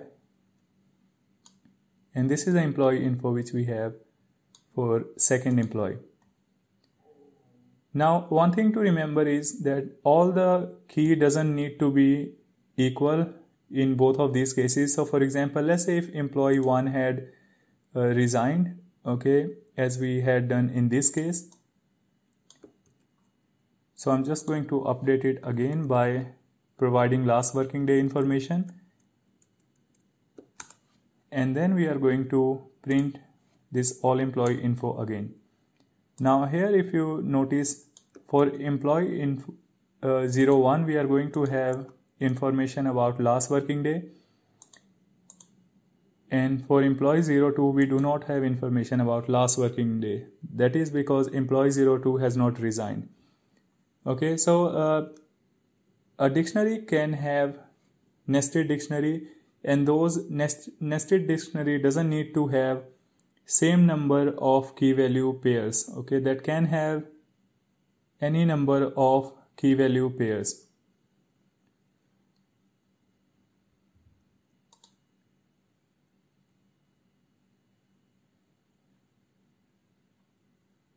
Now if you want to see whether some item or some information exists in a dictionary or not, in that case you can again use the same syntax which we had used for list.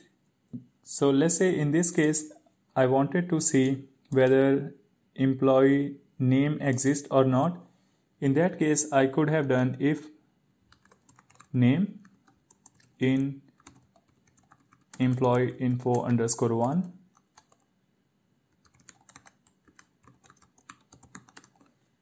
so what this going to do is this is going to search whether the key name exists in this dictionary or not and then it is going to print this statement. So let's press control enter and now we can see that it is saying name exists. So basically it was able to find this key in this dictionary and it given us this output. Now let's say if we are searching for something which is not available something like address and press control enter. Now in this case we do not see any output because this statement is false because address doesn't exist here as we can uh, see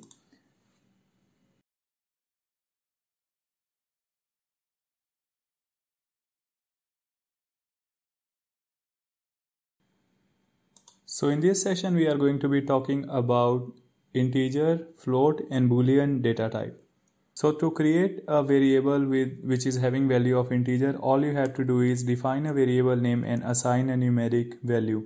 So in this case I'm going to define a variable and assigning it a value of 10 and if we print xyz we are going to get output as 10 and if we print type of xyz we are going to get output of class int. So this is an integer data type. Integer data type is very much used whenever you want to perform some arithmetic uh, arithmetic operations such as addition subtraction multiplication and so on let's say i want to uh, add some value to this xyz in that case i can simply do xyz equal to xyz plus 2 so whatever number I have I'm going to add plus 2 in that. And let's see what is the output which we have now. I'm going to do print xyz again. And once we hit control enter we have received output of 12 because xyz was initial initialized with a value of 10 and then we added 2 and final outcome which we have is 12 so similarly if you want to assign a value of decimal you can do that as well. In this case let's assign it value of decimal type and let's see what's the output which we get so here you can see that once we assign a decimal value we get class of float as an output. So float is basically just decimal numbers. And here if you want to perform any arithmetic arithmetic operations you can do that as well. So I'm going to do xyz is equal to xyz plus 10 and we need to print it again so now you see we have added 10 to whatever value we had initially. Now in this case notice if I do print xyz again. I'm sorry what I meant is that if we do print type xyz again the value which we have is still float okay? So if you add any integer number to a float number the final outcome is still going to be float data type now let's learn about very important data type which is boolean. Boolean is very much used whenever you are trying to perform any conditional or flow control related uh, task. So in order to define a boolean we all all we need to do is create a variable and assign it either true or false value. Boolean can take only two values. It can take either true value or it can take false so here you see when I type true it actually turned to green. So true is also a keyword. And now if I do print type xyz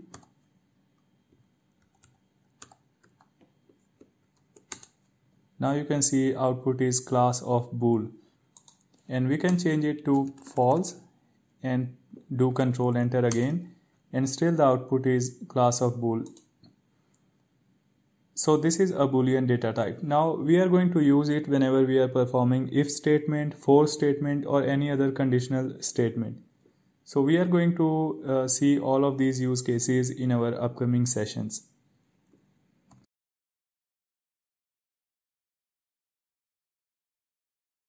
So in this session we are going to be talking about Python operators. So Python operators are the one which is really the backbone of Python programming Operators operate on either variables or values. So here you can see we have different type of operators available in Python. We have assignment operator, we have arithmetic operator, we have comparison operator, logical operator, identity and membership operator. So let's go through all of these operators one by one and understand them. So assignment operator is the one which is being used whenever we are assigning any value to a variable. So if you remember, as of now, we in many of our sessions we have created a variable and also assigned some value. So at that time we were using assignment operator. So this equal to is nothing but assignment operator in this case. So here we are assigning value of 5 to this variable xyz and in next case we are uh, adding plus 5 to xyz and assigning it back to xyz. So all of these are case of assignment operator. Now let's move on to arithmetic. So whenever you want to perform any arithmetic operations, you need to make use of arithmetic operators. And this is really very self-explanatory. So whenever you want to perform any addition, you need to use arithmetic plus operator and whenever you want to perform any subtraction you need to use minus operator. And similarly for multiplication division and modulus you need to use their corresponding arithmetic operators. So we are going to use these things whenever we are programming or whenever we are doing any real time uh, programming or uh, whenever we are going to do any arithmetic operations now let's come to comparison operator. Comparison operator is also very commonly used whenever we have to do some kind of flow control and whenever we have to do some kind of decision making. So for example, let's say you want to go to a Play Store and there if you see the price of PlayStation is less than $300, in that case you want to buy PlayStation. So basically what you are doing is you are checking the price is less than or equal to $300 and then you are making a decision of purchasing PlayStation. So what actually you are using is you are using comparison operator and the comparison operator which we are using in this case is less than equal to. For greater than or less than these are going to be used with arithmetic operations. So usually you compare uh, price of two price of two products or usually you do some kind of comparison. In that case you can make use of greater than or less than operator. Again we have greater than equal to and less than equal to. These are self-explanatory. So greater than will only consider any value which is greater than some value and greater than equal to will consider any value which is either greater greater than or equal to some value now let's move on to logical operators. So in logical operator, we have uh, three types of different logical operators. We have AND, OR and NOT logical operators. So logical operators are used in conjunction with comparison operator.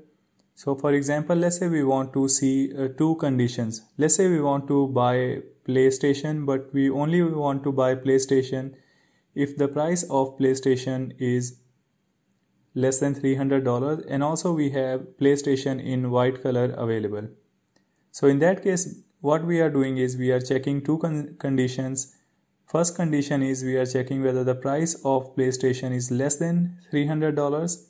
that is condition number 1 and then we are using logical operator and and then we are checking color available is equal to white or not so once both of these uh, logical conditions are satisfied in that case only we are going to buy playstation.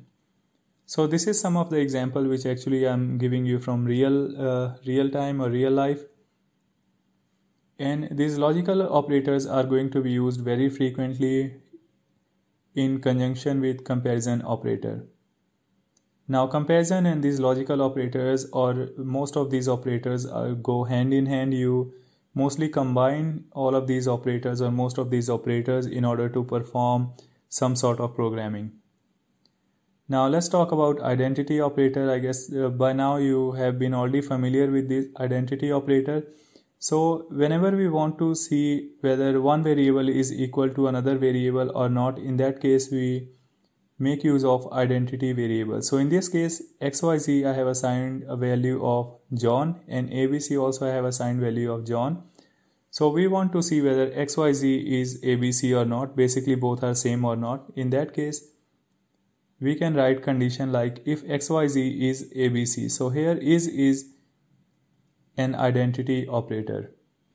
Now moving on to membership. Membership operator also we have used in list, in tuple whenever we wanted to see whether a member exists in the list or not.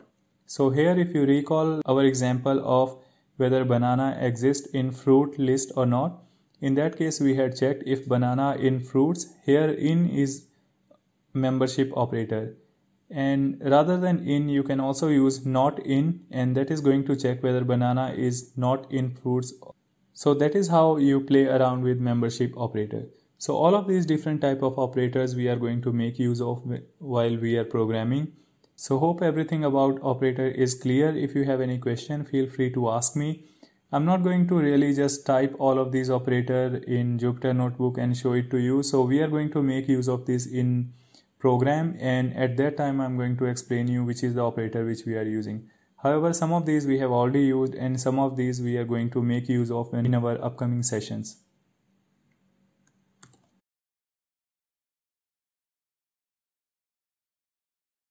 So in this session we are going to talk about how we can receive inputs from user and then we can show it back to the user. Typically, when you develop a real-time project, in that project you take input from user and then you store it somewhere. Probably you store it in a database or you store it in a, let's say caching or let's say you store it in a file. So this is just a building block for those kind of programs. So let's take an example. You have some sign up page or registration page and in that page you take information about username and user email ID and you store it somewhere. Okay, so whatever we are going to learn is building block for those kind of scenarios so in python to receive user input we have a function which is called input. So i'm going to create a variable which is going to be called name and we are going to say name is equal to input. So here input is a function. Whenever we type input it is going to wait for user to type some line. And now if I run this it is just going to ask user to enter something. So uh, let's say I just do control enter and you can see now in Jupyter notebook we can see uh, here an option where user can type. Okay so this is actually waiting for user input. Let's say I type since I do not have any message here okay so we do not know what is expected to be typed. So let's say I just type something and hit enter and that's it. It didn't really show anything or it didn't really do anything with this input. Okay so that's why it is important that you whenever you ask something from user you let them know what is the kind of information which you are looking for. So i'm going to use print statement and here i'm going to say please provide your name or let's call it full name. Okay so user is going to enter its full name and that full name is going to be stored in name variable or let's change this variable name also to full name. And then let's ask for user age or let's ask user's email id and let's store it in email underscore id variable. And then let's print it back to the user. So what I'm going to do is I'm going to use print statement and here we are going to write thank you for registration. Your email id is and here we are going to use plus and going to print email id okay we don't want to print username. Uh, back we just let's say want to print user's email id and uh, that's it. Now i'm just going to do control enter. And here you see it is saying please provide your full name. Now i know what is the name to be provided. And let's say this is the name of the user. And hit enter. And once you hit enter it is asking please provide your email id so let's provide email id hit enter again. And now you see this line. Thank you for registration. Your email id is johnsmith at itpanther.com so this is how you can receive input from user and then you can respond back with whatever the message or whatever prompt you want to display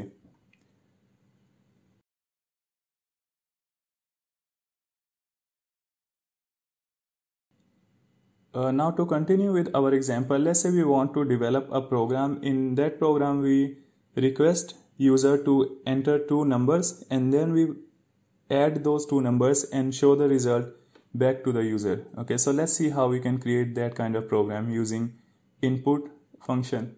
So uh, I'm going to click on plus to create a new cell and here let's say we are going to create a variable which is called first number and then we have another variable which is called second number. And here I'm going to use input. And for second number also I'm going to use input. And let's do a print statement. Please enter a number. And here I'm going to do please enter second number. Now uh, let's see if this works or whether it gives us any error so in the print statement, I'm going to do first number plus second number. What do you think? Is it going to run or it's not going to run?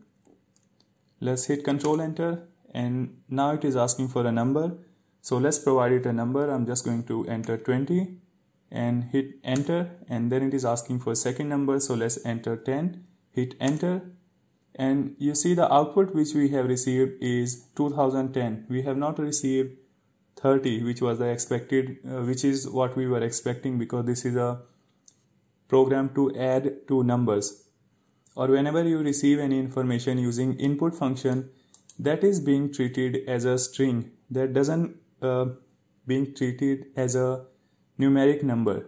So that's the reason that this is actually concatenating 20 plus 10 and you are seeing 2010 rather than seeing 20 plus 10 which is equal to 30.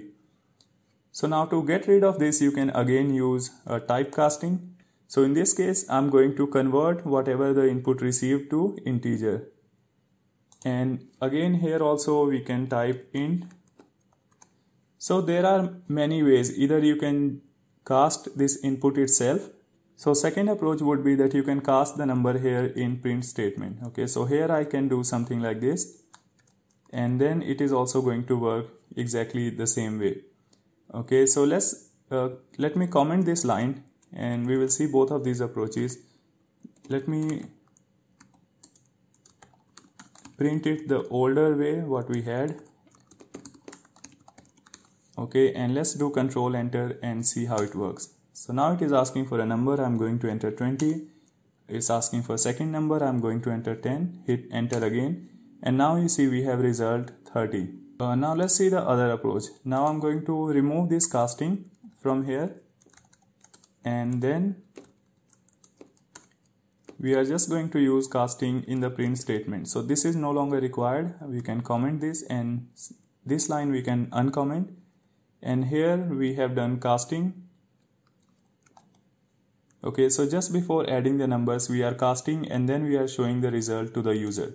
So here hit control enter and it is asking for a number so let's enter 20 second number let's enter 10 so now you can see we have the same result which we had in previous case. Okay so as a programmer you can really decide where you want to do casting. However it is best approach that whenever you are taking the information that time itself if you want to deal with numeric number you can just cast the numbers. So thank you for watching. Hope everything was clear. If you have any questions please feel free to write in q&a session. We are going to use these a lot whenever we are going to develop real-time programs.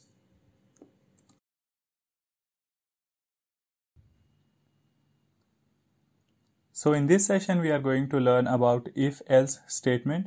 So if-else statements really control the flow of your program. So for example, in certain scenarios you want to do some condition checks before you want your code to execute. In those cases you need to make use of if-else statements. So to give you a simple example, let's say you want to rewrite a program in order to add two numbers and you are requesting user to enter two numbers However, let's say user actually did not enter number, rather he entered a string. In that case, your program is going to give you error if you have not performed any condition checks. So it is always beneficial that you perform if condition check by seeing that the number which user has entered is actually a number. Now when you write if else statement, there is a concept of indentation here now you can see the syntax of if is very simple. Uh, you need to use if and followed by opening and close parentheses and inside that parentheses you need to give some condition check. So that condition check can be uh, like you want to check whether one number is equal to another number or certain condition is equal to certain other condition or things like that. So once you give that condition and after the closing bracket you need to use colon and then hit enter. Now once you hit enter you will notice that line is beginning from this position it is not beginning from a start of this line and that is because of the indentation in python indentation is used to separate one block with another. So here whatever the piece of code which has written inside if condition is a separate block and it is only going to get executed whenever the if condition is true. And in case whatever is written inside if condition is false or not matching in that case whatever is written inside if block is not going to get executed and whatever is written in the else block that is the one which is going to get executed now we do have something which is called nested if statement. So let's have a look in that.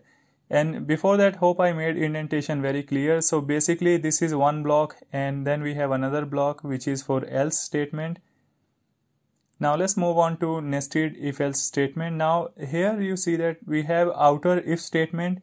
And once uh, this statement is satisfied or this condition check is satisfied or it is true in that case it is going to move to next piece of code and in the next piece of code again basically we are writing another if statement okay so we have one if statement inside another if statement and that is called nested if statement now here understand the block. So whatever you have written inside first if block is called one first block and then you have some piece of code written inside second if block.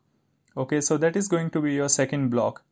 Now notice here that whatever the number of spaces you have given you need to make that consistent. If let's say here you give 3 spaces and for the next line you give 4 spaces or 5 spaces in that case you are going to get error.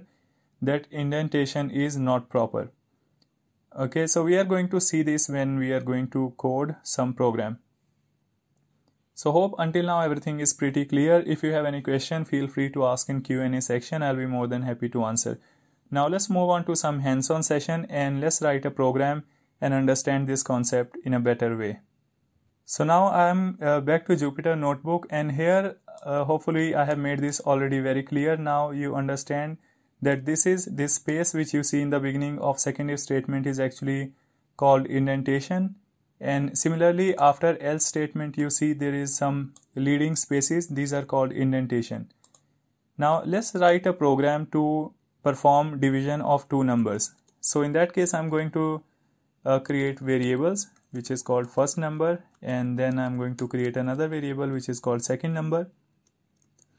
And here we are going to ask users to enter numbers. So that's why I'm writing input statements.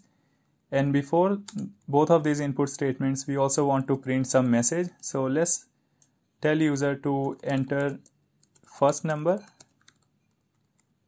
and enter second number. So user is going to enter two numbers and we are going to uh, do a division and going to return the result back to the user. Division of this number is and then below we are going to show the result. So here what we need to do is first number and divided by second number. So here we are actually making use of arithmetic operator which we have learned in operator session. So this slash is denoting arithmetic operator which is division operator. So now I'm going to press control enter and now it is asking for first number. So let's enter a number. Let's enter 20 hit enter and then it is asking for second number. I'm going to give 2 hit enter and now it is saying division of this number is now you saw we got error. So this is again uh, same error which is saying that we are using operator on string okay? Because whatever number which we have received using input function these are being treated as a string so we need to do typecasting let's do casting here. So I'm going to convert it to int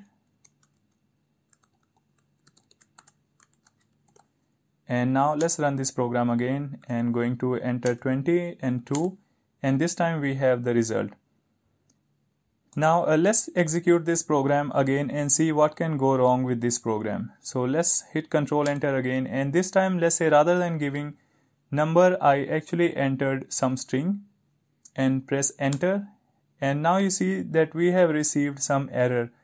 What is happening is that we are trying to cast a string into integer and which is resulting in an error okay? So rather than writing our program like this we should have done certain validation by using if statement.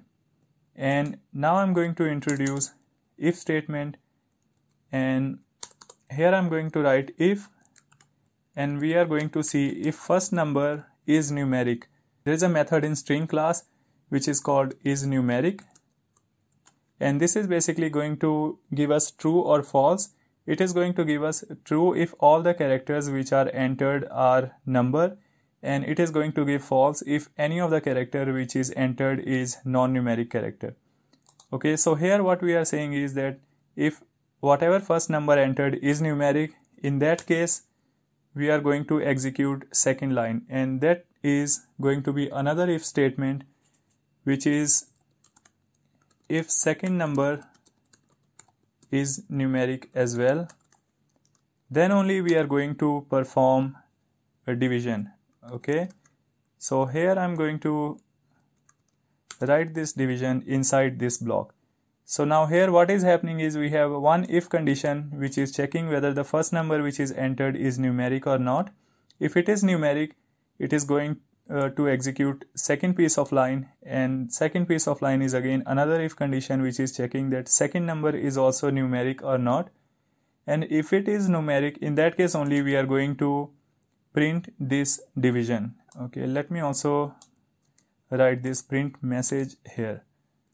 Okay now what is going to happen if second number is not a number okay or not a numeric? In that case we need to write else statement corresponding to this if statement. Okay so now you notice this if and this else are beginning in the same block. Okay so here after else you need to give colon hit enter and here you can print a message that second number is not numeric. Okay so rather than printing division we are saying that second number is not numeric. Please run program again and enter numeric number and enter numeric okay? Now let's say what is going to happen if first number itself is not numeric. We also want to print certain message in that case as well. So i'm going to write another else statement and this time i'm going to write else statement here. So this else statement is for outer if block. So you can see this if is in sequence or aligned with this else statement okay? So this else is only going to execute if this first statement is turns out to be a false statement. So here we are going to write another print statement and going to say that first number is not numeric and now I'm going to remove whatever we have written here okay so now in this case you see we are performing validation and based on that only we are showing the result. So let's hit control enter and let's see how it works. And again one thing which I'm going to do here is I'm going to uh, take out this integer casting from here. So we are receiving input from user. And here once we made a check that whatever the number user has entered is numeric then only we are going to perform casting. So you can only perform numeric operations when you have done casting to numeric or float data type. So here we are doing casting for first number and inside this we are going to do casting for second number. I'm sure this program uh, for a beginner it might look little bit complex but actually it is not complex. It is very simple. If you want to pause you can pause here and try to understand this program. It is very simple so it is very logical as well. We are actually taking one number and then we are doing a validation that whether the all the letters which user has entered is numeric or not. If it is numeric then we are casting that number and assigning is back to the same variable. And again for second number also we are doing the same thing and then we are doing first number divided by second number and printing the result to the user and if first number or second number is not numeric then we are printing these messages and asking user to run the program again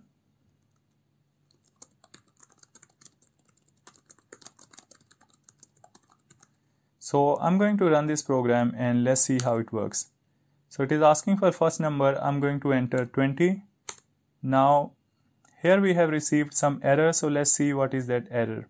So the error which we have got, it is saying that int object has no attribute is numeric. So let's see what is happening.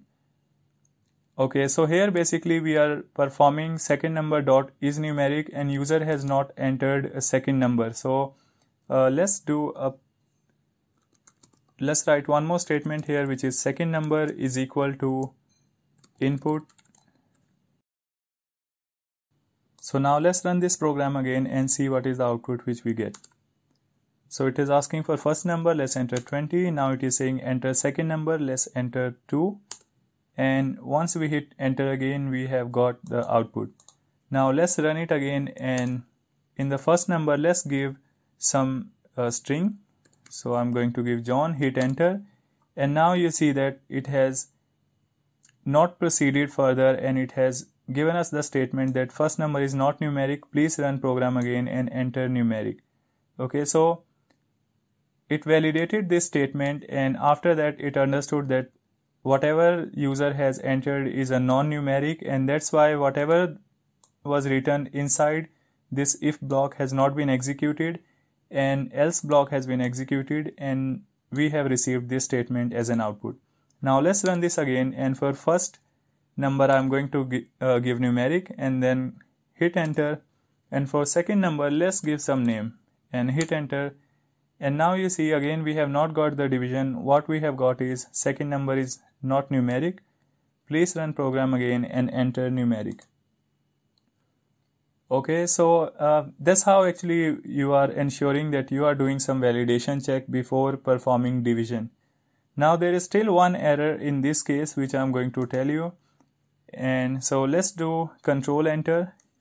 And let's say first number which is entered is entered is 20 and let's say second number which is entered is 0 and what do you think is going to happen? Let's hit enter and see. So here you saw it actually moved on to performing division. And then once it was doing division it understood that division is performed by 0 because as you know division by 0 is not possible. So we should have put one more condition by checking that whatever number which user has entered should be greater than 0 okay so in that case what we could have done is we have put one more if statement inside this which is going to say or going to make sure that whatever the number which user has entered should be greater than 0 so I leave it up to you in order to enhance this program and make sure that whatever possible validation is you have made sure that all of those validation is done before we make sure that this our program of division is bulletproof and it is going to work in all the conditions or all the scenarios. Again if there is any confusion or if you want to understand certain thing please feel free to write in q&a section and i'll be more than happy to answer So in this session we are going to be talking about while loops. So loops in a programming language provides you an ability to perform the same operation again and again until certain condition is met. So by certain condition what I mean is that there is exit condition defined. So for example typically in a music player music will keep on playing until and unless you click on the close button and close the music player. So closing is an exit condition. So similarly, let's say if you want to write a program which keeps on adding two numbers, okay, in that case you want user to keep on adding two numbers until and unless user quits or until and unless user says that he no longer wants to continue performing the operation. So these kind of actions can be done using loops. Now there are two loops which are available in Python. Those are called while loop and for loop. So first we are going to discuss about while loop then in next session we are going to discuss about for loop. So almost all the types of loops in any of the programming languages require two things. One is entry criteria and the other is exit criteria. So for any loop to function properly you will need an entry criteria and an exit criteria. So while loop is also no different. In this also we will need one entry criteria and one exit criteria. Now let's say you want to print number from 1 until 20. In that case, how you can make use of while loop? Let's try to understand. So let's say we have a variable which is called counter and this counter is starting with 1 and in this case I'm going to start a while loop and I'm going to say until and unless counter is less than equal to 20 and then notice uh, this is the syntax of while loop okay so you give while while is the keyword here and then you do some uh, condition checks. So here what we are doing is we are telling this counter variable as long as this counter variable is less than equal to 20 keep on performing certain action. So after while loop we need to perform uh, we need to give this colon and hit enter. Now you will notice again indentation has kicked in and whatever we are going to write that is going to be written inside this block. And here I'm going to write print counter so now uh, what do you think is going to happen when this program runs? Now when we are running this program what is going to happen is that initially value of counter is equal to 1 and then when this line is going to get evaluated in that case processor is going to see basically that counter is less than equal to 20 so basically this is true because counter is equal to 1 which is less than equal to 20 and then it is going to print the value of counter which is going to be 1 now this action is going to keep on continuing until and unless there is one exit criteria is met. So in this case as you can see if we just run the program here this is going to result into endless loop. And the program is just going to keep on running and it is keep on printing numeric 1 rather than uh, printing anything else whereas what we are looking for is that after each iteration we want to increment the value of counter. So what we need to do is we need to perform an increment operation. So we are going to say counter is equal to counter plus 1 so after each line or after each execution value of counter is going to get incremented. And eventually counter will be is equal to 20 and it will try to exceed more than 20 in that iteration and then it will come out of this while loop. So now let's run this program and see what is the output which we get. So I'm going to do control enter and now you can see once I did control enter we have value from 1 until 20. Now again let's say if you want to print every second number in that case you could have incremented counter by 2 and if you do control enter this time you see you have got 1 3 5 7 9 11 13 okay which is you have printed all the odd numbers. Now let's say if you wanted to print all the even numbers in that case you could have initiated counter by 2 and if I run the same program again this time you see we see list of all the even numbers so basically this program has one entry criteria which is this and then it has one exit criteria which is uh, this one which is telling counter should be less than equal to 20 if it is not less than equal to 20 then this while loop is going to exit.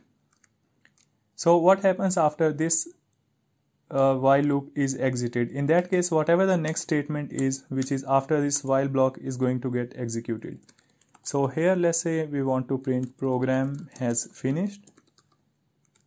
So after this while loop is completed whatever the next line is that is going to keep on executing. So let's run this program again and see the output. So now you can see the output which we have got is list of all the even numbers and last statement is saying that program has finished. Now with the same concept let's try to create a program which is going to ask user whether user wants to perform addition of two numbers and then user has to respond with yes or no and if user says yes then he is going to be asked to enter two numbers and then program is going to perform addition and going to reply the result back to the user. So for this what we need to do is we need to have one entry criteria. So in this case let's say our entry criteria is user response and that user response should be either yes or no. So yes means user wants to perform addition and no means user doesn't want to perform addition and wants to exit from the program. So initially I'm going to initialize user response with yes and now notice I'm going to write while statement and here I'm going to say while user response is equal to so now we are performing now here we are not using assignment operator. Here we are using logical operator and here that's why we need to give double equal to and we need to say yes. So what this is going to do is this is going to check that user response is equal to yes or not. If it is not equal to yes then it is going to quit this while loop. So here hit enter and let's say let's ask user to enter two numbers so i'm going to write print statement and going to tell user to enter first number. And then we are going to create a variable which is called first number. And here we are going to keep user response. And remember you need to cast it to integer. And now we need to do the same for second number and this variable I'm going to call second number and we are going to do casting as well. And now we have asked user to enter two numbers and here we are going to print the result. So we are going to say addition of two numbers are and then we are going to use this curly braces because we are going to use format function. And inside the format function I'm going to provide first number plus second number. Now notice you could have done something like result equal to first number plus second number. And here in the format you would have printed result. Okay so both are fine. And I'm just going to comment this line and I'm going to now use result. Okay so both the statements are fine. We, whatever method you want to choose you can choose that method. So now uh, you see that user has entered two numbers and then we are returning the program or we are basically adding those two numbers and uh, whatever the result is we are showing it back to the user. Now again we want to ask user whether he wants to continue or not. So here we need to write another statement which is going to ask user do you want to continue performing addition operations? Reply with yes or no. Okay so user should be responding with yes or no. And here we are going to capture user response again in user underscore response variable which we have created. So now what is going to happen is that user is going to reply with yes or no. So once user replies with either yes or no that response is going to be assigned to user response. And now since this is the last line after this again while loop is going to check the condition and then it is going to see that user response is equal to whatever the response which user has given. And based on that it is going to take next action. So let's run this program and see how it works. I'm just going to remove this line to avoid any confusion. And let's do control enter and run this program. So here you see it is asking for first number I'm going to enter 20 and it is now asking for second number so let's enter 30 and now we see that it is saying addition of two numbers are 50 and it is now asking us do you want to continue performing addition operations? Reply with yes or no. So i'm going to reply with yes and now you see once we replied yes it is again asking to enter first number. So this time i'm going to enter 10 and it is asking for second number let's enter 60 and you see it has uh, given us reply with the result and now it is again asking do we still want to continue or not? So we can continue replying yes and it will continue performing addition operations. Okay so that is what typically happens in an application and again if we want to exit we can just say no. And in this case it is just going to stop. Okay so after we say no we should have also print, printed some user friendly message which is going to say the program has finished or a program is going to exit something like that. So let's print that statement here. You have chosen to not continue. Program is exiting. Okay so now whenever you user says no in that case this message is going to be printed and program is going to be exiting. So let's press control enter and run this program one more time. And this time I'm going to say no and let's see what happens. So once we said no we got the response you have chosen to not continue program is exiting. So that's how you make use of while loop in order to Continue repeating some operations again and again until the exit criteria is met. And if you have any queries, please ask me in Q&A section.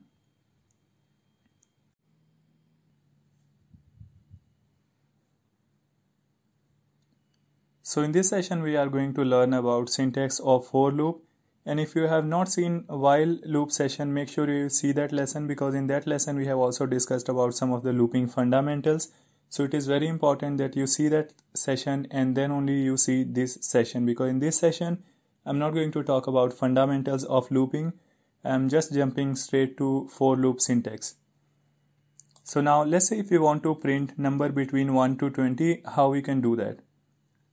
So typical syntax of for loop is it begins with a keyword for and then you need to specify some variable name. So here we are going to say number now you can uh, specify any name. So typically you will see most of the uh, people are using i uh, for variable name but you can specify any name.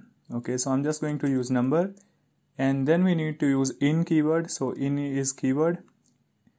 Uh, you will notice that whenever you type any keyword that color of that word changes to green. Okay so we have seen that color of for and color of in has changed to green. So that's how you know that something is a keyword. Now here we are going to make use of range function and inside range, range function I'm going to tell 20 and then uh, similar to while loop whenever for statement ends we need to provide colon and then hit enter. And then in this block we need to provide whatever action we want to take. So in this case we want to print all the numbers. So if you made a guess that I need to write number then you are correct so here we need to write number. So what do you think is going to be printed here? So if you're thinking that it is going to print between 1 to 20 so uh, let's see whether you are correct or not. So once we hit enter it has printed starting from 0 until 19 okay so range is basically telling that it uh, this for loop should be terminating before reaching 20 okay so 20 is the exit criteria and it is that's why I'm not going to print 20 now again whenever uh, you use range like this in that case it starts from 0 So initially when this for loop started, number got assigned a value of 0 and then it kept on incrementing by 1. So that's why we have numbers starting from 0 until 19. Now let's say you wanted to print starting from 1 until 20. So in that case we can specify starting range uh, in the range function. Here I'm going to say 1 comma 21. Okay, so we know that 21 is the exit statement so 21 is not going to get printed only value starting from the starting point which is 1 until this ending point is going to get printed so let's do control enter and now we see we have a number starting from 1 until 20 now let's say if you want to print all the odd numbers in that case what do you need to do? So range function also have uh, in range function you can also specify with what number you want this to be incrementing. So here I'm going to tell as a third argument I'm going to tell increment by 2 so now this loop is going to start from 1 and then it is going to increment by 2 every time so it will not print 2 it will after 1 it is going to print 3 and 5 and so on so let's run this program and see what is the output so now you can see we have list of all the odd numbers here. Now similarly if you wanted to print list of all the even numbers in that case you could have started this starting range from 2 and if you run this program it is going to print all the even numbers. So uh, one thing you would have noticed that how simple for loop is when you compare it with while loop. So that's why you will see that most of the uh, programmers just use for loops and they don't really use while loop.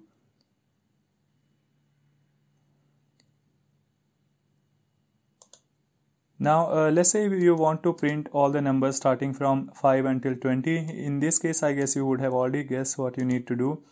So starting position you need to change it to 5 and then you don't need to specify this increment by because you want to print all the numbers from 5 until 20 so let's hit control enter and see the result. Okay so you can see that now we have printed numbers starting from 5 until 20 and we have already seen how we can print all the odd numbers and all the even numbers. Now let's see how we can uh, loop through all the characters of a string using for loop okay so here you can see we have a variable which is called name and we have assigned a value of john to this variable. Now if i do print name in this case you will see that we are getting output of john. Now let's say rather than this you want to print each letter one by one in a print statement. In that case you can make use of for loop. So i'm going to say for and here we need to say for again if you remember syntax of for loop you need to specify variable name. So here i'm going to say letter. And then we need to use in keyword. So we are saying for letter in name and colon. So now notice here python already knows or python is smart enough that it knows that this name is a variable which contains a string. So it is basically going to loop through all the characters of this string. And now here we are going to print letter. Now once I do control enter, now you can see that this print name is printing John and then this for loop is printing all the characters of this name one by one. Okay, so that's how you actually loop through all the characters of a string. Now let's say this name had been something like John Smith. In that case, you would notice we have John, then we also have space, and then we have Smith. Okay. So regardless of whatever you have in the string, it is going to uh, iterate through all the letters one by one. And we have discussed so much in detail about lists and tuples. So let's see how we can traverse through all the elements of lists or tuple. Again, syntax is very simple. So all we need to do is we need to use for and need to define a variable name. So in this case, I'm going to say for fruit in fruits, print fruit. So this fruit is variable name which we are defining here while in the in the for loop and this fruits is the variable which is uh, having all the fruit names. Okay so we are saying for all the fruit in this fruits list print all the fruit one by one. So let's hit control enter and now you can see the output is that it is showing all the fruits one by one in a new line I'm just going to comment it and remember when we had printed fruits okay in our list lesson in that case we had got output like this okay. So in this case it has printed output as a list and that's how for loop is different than you know printing all the element of lists. So here if you see it is printing all the element one by one and also printing in a new line so basically you are iterating through all the elements of a list.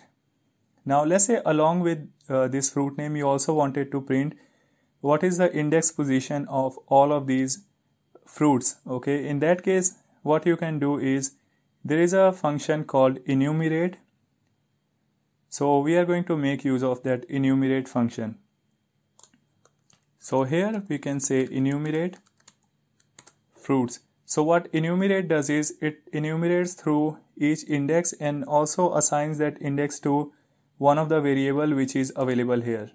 And the value is being assigned to second variable okay? So that's the reason whenever we are using enumerate in that case we need to specify two variable names here. So first variable name let's call it index and second variable name is going to we are still going to call it fruit so what we are saying is that for index and fruit in enumerate now notice this index and fruit these are just variable names this can be any variable name so this variable name index is going to keep all the index position and this variable name fruit is going to uh, keep all the actual fruit names.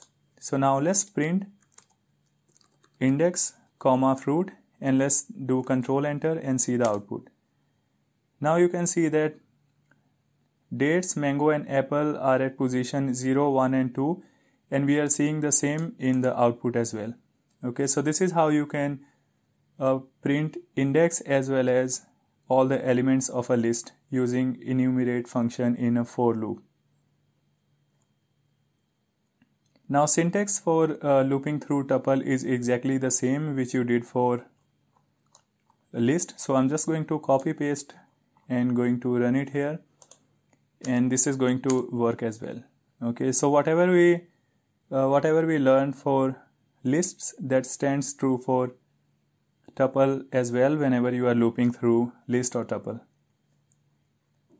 So now here uh, we are saying we want to loop through all the fruits until and unless we see banana.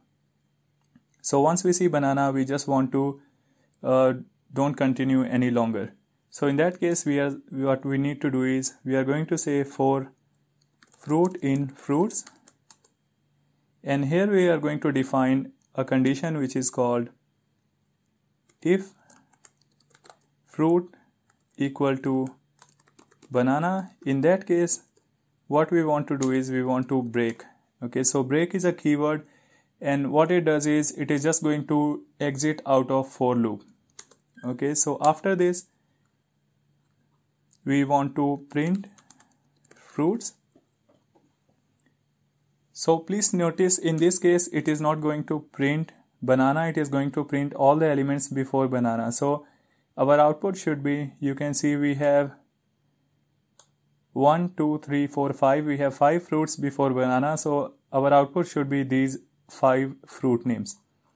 So let's run it and see so you can see output in the output we have got first 5 fruit names and once it reached banana it just exited the for loop. Okay?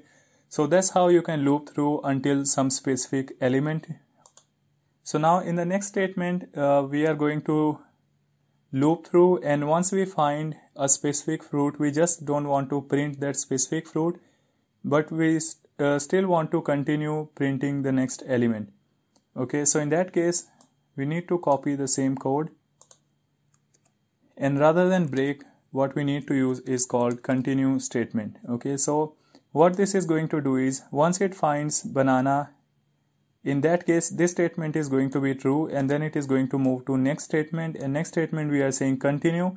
So what continue does is it just moves the cursor back to this position okay so logically whenever it sees continue it is just going to start uh, the for loop condition. Okay so basically it is not going to go to this print statement and just going to continue back to the for statement. So let's print it and see what is the output which we receive. So now you can see we have still list of all the fruits but we do not have name of banana. Okay because we were saying whenever you find banana just continue do not go to next statement. So that's why it just continued looping through and it printed all the other fruit names and it did not print banana.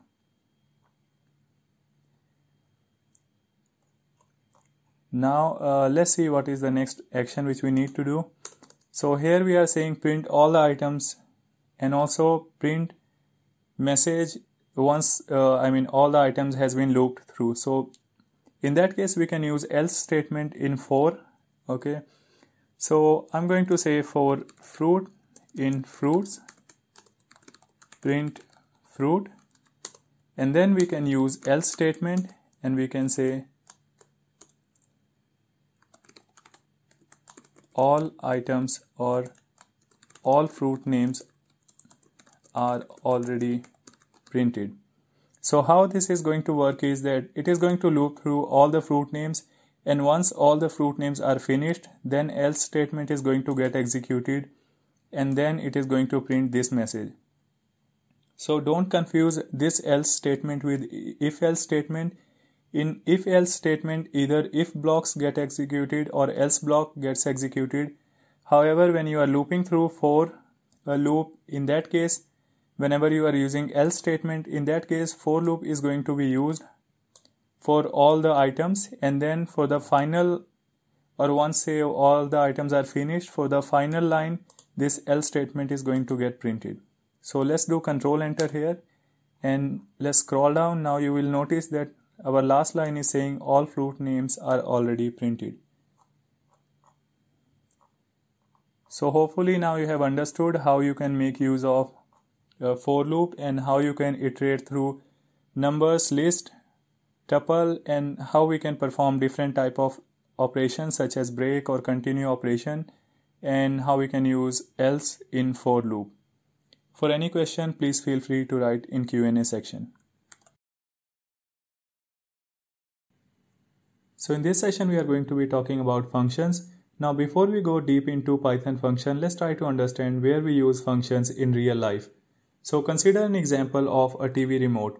So you have TV remote and in the TV remote you have many buttons and each of the buttons perform different set of functions. For example, you have a button which can turn up the volume or turn down the volume and then you have different buttons which perform functions uh, such as changing the channel or let's say opening the menu or showing some of the other options let's say connecting to HDMI and so on. Now whenever you are uh, programming in that case let's say if you want to program and all the functions of a remote control in that case you can understand that remote control has so many features and you won't be able to perform or you won't be able to write a single program to you know create all of these functions even if you do that it is going to be very complex and the program itself is not going to be very readable and also there is going to be time when you are just going to repeat same code again and again. So just consider that you have these little arrow keys which can actually navigate through different options of going up and down. Now these options can be used whenever you are switching between channels or uh, let's say whenever you want to select some of the available options from different menus. Now uh, in this case for example, if you had to write a program for these functionality, you have to repeat same code again and again many times in your program. Now, with the help of Python functions, we can avoid all of these things. So what we actually do is we break down each functionality into a function and we write the code only once and then we reuse that function whenever that coding is required.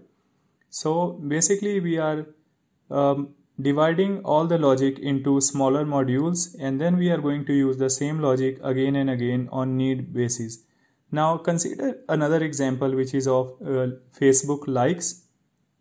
so you can give like to a post you can give like to an image you can give like to a video so do you think that in real time or in real life programming it is possible to write the same piece of code again and again for image and for videos and for other functionalities? The answer is no because for all of these the function has been written only once and whenever you perform like operation on let's say image or a post or on a video then uh, that function just gets called and execute the code which is written in that function. Okay so overall we can say function has many benefits but uh, the top three benefits are that function reduces duplication of code because you are just using the same function again and again rather than writing the same code again and again. The second thing is that it is it breaks down complex problem into simpler problem. So for example, as we talked about TV remote, if you write everything or all the functionality in a single program, first of all, program is going to be very long and again, everything is going to be too complex to understand by anyone. Now, if you break down all the functionality into smaller functions, in that case, we, with the name of the function, we can understand that what is the functionality which is going to be performed in that function. And that function is going to be responsible to perform only that set of action for which it is created for. And it, it doesn't need to worry about all the complex logic of overall program. So these two things eventually leads into improved uh, clarity of the code. And in that case whenever someone looks onto your code it is going to be very easier for them to understand the code. And especially these things get very complex when you have very large program to write. Consider that you have to write program of millions of lines of codes. In that case you are not going to or you don't want to repeat the same thing again and again. You want to try saving the time and function is best suitable for these kind of things now let's go to Jupyter Notebook and create a program which is going to use a function and we will also learn how what is the syntax of functions in Python. So now I'm back to Jupyter Notebook and here we are going to learn how to define a function.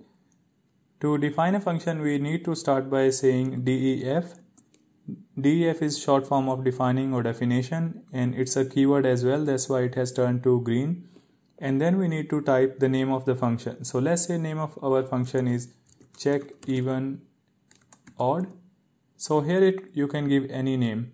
And for each uh, function we need to have opening and closing parentheses okay?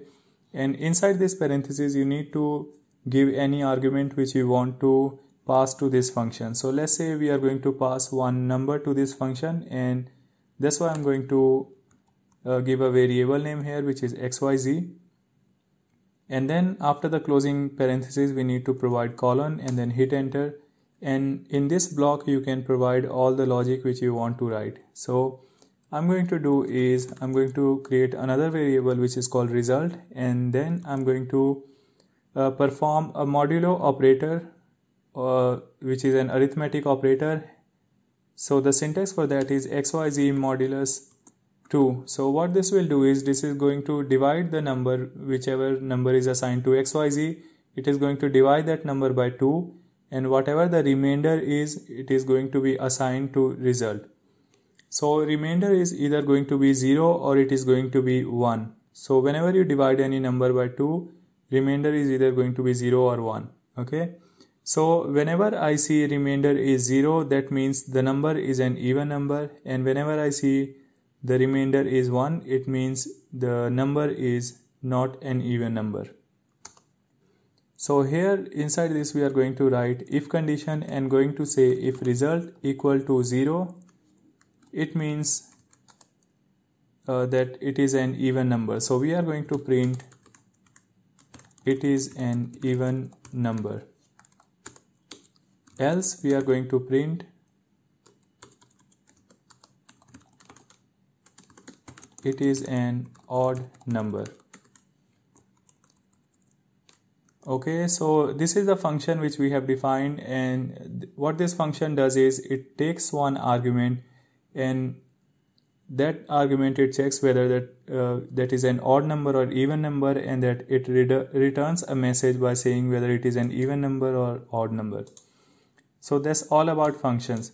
Now we need to see how we can make use of this function. Now here I'm going to uh, write print statement and going to ask user to enter a number.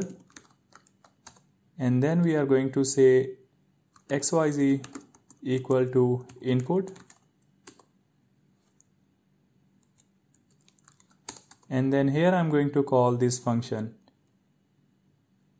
which is called check even odd. Now to call a function we just need to call that function by name and we need to use this opening and closing parentheses and in this we need to provide the argument. So here I'm going to call xyz and now let's run this program and see what is the output which we get. So I did control enter and now it is asking for a number. I'm going to enter let's say uh, 25 and hit enter uh, so here we are getting an error which is basically saying that number uh, cannot perform arithmetic operation because this is a string. Again uh, what we need to do here is we need to do type casting. So I'm going to change it to integer here and then run this program again. I'm going to pass 25 and now we can say now we can see that the output which we have received is that it's an odd number. Now let's run this program again. Let's enter uh, 40 and hit enter and we can see that it's saying it's an even number. So now you can see that this function is working as expected and it is performing the operation of checking whether the number is an even number or an odd number. So hope everything was clear. If you have any question, please feel free to ask me in Q&A section.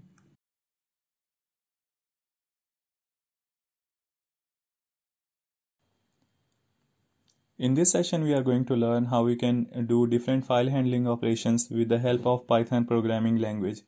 So typically when you are dealing with files, you perform different set of actions. For example, if you want to read the data, in that case you are going to open the file and then you are going to read the data. And uh, let's say you want to read the data line by line or let's say you want to uh, append some more data to the file. Okay, so these are some of the operations which you typically perform when you are dealing with files. So now we are going to see how with the help of Python programming language we can perform all of those actions. So for this demo, I have already created a file in D drive and which is uh, called demo.txt. And now we are going to read that file using Python programming language and we will see what is the content or what is the data which is there inside that file. So uh, I'm going to create a variable which is called file. So this can be any variable. And then we have a function which is called open function. And inside this open function, we need to tell name of the file along with the complete path. So since my file is in D drive, I'm going to give D drive and we need to use backslashes two times and my file name is demo.txt. So what this is going to do is this is going to open the file in read only mode. And now we can read the content of the file by using read method.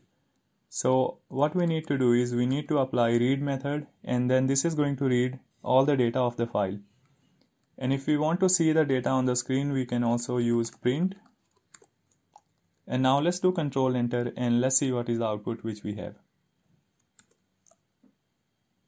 Now you can see this is the content which was written in the file and this is the output uh, which we have received. Okay so there are three lines of uh, data which is written inside the file and we are successfully able to read that data. Now in order to close the file you need to do file dot close and what this is going to do is this is going to close the file closing the file is very important because if you perform or if you open many files and you don't close the files in that case files are going to remain open and going to keep on occupying space in memory. And eventually it is going to end up eating all the system resources. So that's the reason whenever you open a file make sure after your work is done you also close the file. So here i'm going to press Ctrl Enter and so what this has done is this has opened the file and this has read the content of the file and then it has closed the file. Now uh, using file.read uh, method we were able to read entire file. Now let's say if we want to read the file line by line. In that case we have a method which is called readline. So here rather than read I'm using readline and let's see what is the output which we receive. So I'm going to do control enter and now you can see we have received only first line which is welcome to python programming language. Now along with both the method, methods read and read line you can also specify the total number of characters which you want to read.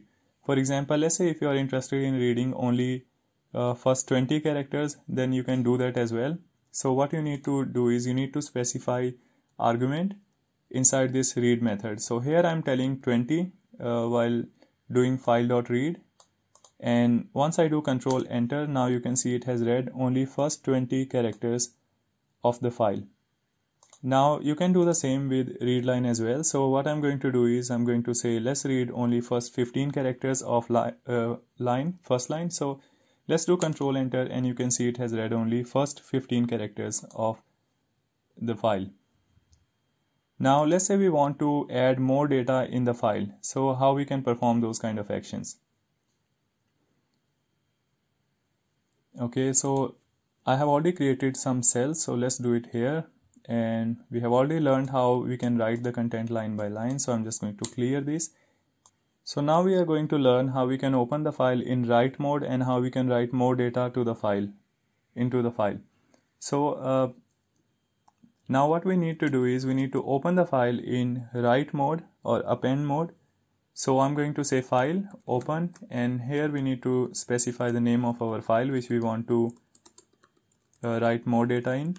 So it is called demo.txt and now if you remember for read we did not perform any we did not give any other argument other than name of the file. Now in this case we also need to specify what is the mode in which we want to open the file. So in this case, I want to add more data to the file. So I'm going to say A. So A here stands for append mode. So basically we'll be able to open the file and able to add more data in the end of the existing data. Now let's use the write method. So there is a method called write method. Using this, you will be able to write data to the file. So I'm going to say uh, this is the fourth line which is being added through python program. Okay so after this i'm going to close the file and that's it. So that's all you need to uh, write in order to write some data to the file. And once we write the data we again want to open the file and want to read the content of the file. So i'm just going to open the file again and this time we are going to do file.read to read the content of the file. And we also need to print the content of the file. So I have added print statement here. And now let's run this and see what is the output which we get this time. Okay, so now you can see that there is a new line which has been added which is called this is the fourth line which is being added through Python program. So now you saw how we can append more lines into the file. So now let's see how we can create a new file using Python programming. So for creating a new file, what we need to do is we need to say file equal to open and here we are going to say demo.txt2 and you need to provide either write mode or append mode. So either you can say W or you can say A. Both will work. So in this case, I'm just going to use A and then what we are going to do is let's read the content of the file. Okay so here I'm going to say file.close and then I'm going to open this file again and we will see what is the data which is there inside this file. So this is a new file. I'm sorry I just want to rename it to demo2.txt so this is a new file which we have created and as we know we have not put any data until now. So it should not be displaying us any data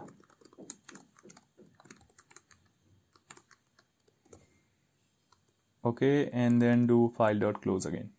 So now here I'm going to run this program and let's see what is the output which we get. Okay so now here you can see that uh, we created a file and then we closed the file and then we opened the file in read only mode. And when we did file dot read basically there was nothing uh, that's why we didn't get any data. And then we closed the file so now let's open the file again in append mode and add some data to it. So I'm going to copy this piece of code and going to paste it here. And here we are going to say file.write this is the first being added to python program. Okay? And then we are going to read data again so after this i'm going to write read statement again now let's do control enter and this time you can see we have received output saying this is the first line being added through python program so now you have learned how you can create a new file and how you can read the data of that new file. Now uh, let's talk about if you want to see whether some, some file exists or it doesn't exist then how you can do that. Okay, so in order to check the existence of a file or existence of a file what you need to do is that uh, there is a module which is called OS module which we need to use so using OS module, we'll be able to uh, see whether a file exists or doesn't exist. So until now we have not learned how we can use any module. So if we want to use a module, we need to use import statement and then we need to tell the name of the module. So here we are going to use OS module. So we are saying import space OS and so basically a module is something which has already so many uh, classes, functions and methods which we can make use of in order to ease our work. So in this case, in order to check up whether a file exists or it doesn't exist, I don't really need to write a new program. There is already a module which is called OS module available. So we are just going to use this module and we are going to see a method which can actually we can use in order to see the existence of a file. So here I'm going to use os.path.exists and inside this we need to tell name of the file which we want to see. So I'm going to say demo2.txt and now this is going to return either true or false. Okay, so let's print this and see what is the output which you get.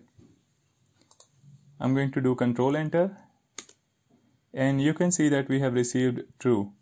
Now let's search for a file which we know doesn't exist. For example, demo3.txt. This is the file I know doesn't exist and now let's do control enter and now we can see that we have received the output of false okay so uh, what is going to happen is and where to use this is so whenever you are going to read a file it is important that you make sure that file exists. So you can do a validation that file exists and then only you should perform read operations. So let's try to read a file which doesn't exist and see how uh, how it works okay? So in this case i'm going to say demo3.txt I'm just commenting this line temporarily. Okay, so what we are doing now is we are opening a file and trying to read it and then trying to close the file. Now we know demo3.txt file does not exist. So let's do control enter and see what happens. Now you saw when we try to read the file which doesn't exist, we got the error saying no such file or directory. Now typically in a in your program or in a production uh, environment, you will not try to write a program which is prone to fail. You would like to write a program which is bulletproof and which is not going to fail in any scenarios. That's why you need to write many validation statements before performing any action in the file.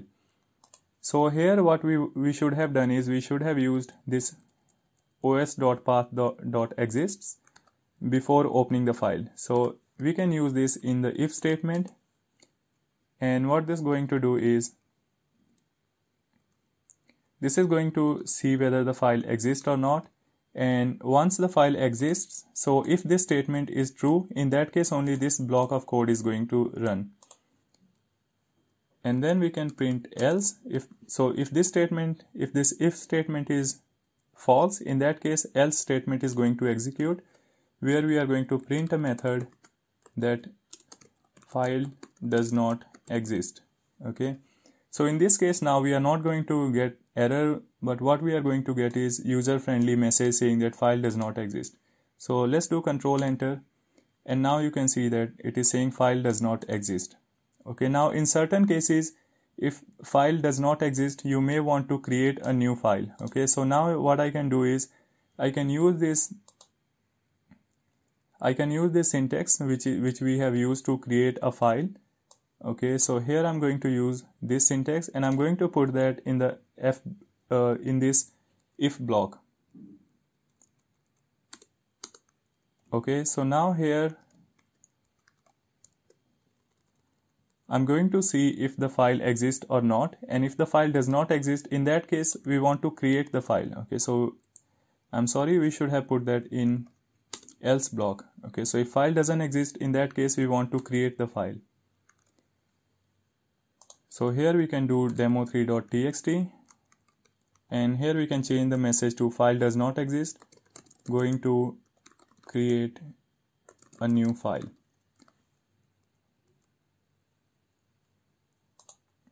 Okay and then it is going to create a new file and going to add this new line to the file. And now if we want we can read the file again or let's let's uh, see how it works for the first time so now when I do control enter what this has done is it is saying file does not exist going to create a new file. Okay now if I run the same program again what do you think is going to happen? If you guessed that this block of code is going to execute then you are correct. Let's do control enter and see how it works. Now you saw when I ran the program for the second time, this uh, piece of block got executed because file was already created and file was existing and that's why we were able to read the content of the file. Okay, so that's how you uh, you can see whether a uh, certain file exists or not exist before you move on to performing any action with the file. Alright, so now we are going to see how we can remove a file.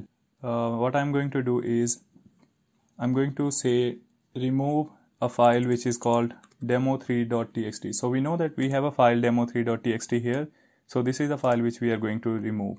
And before this, let's also print a message saying that going to remove the file. Okay, now let's hit control enter. And it is saying going to remove the file. So it has removed the file.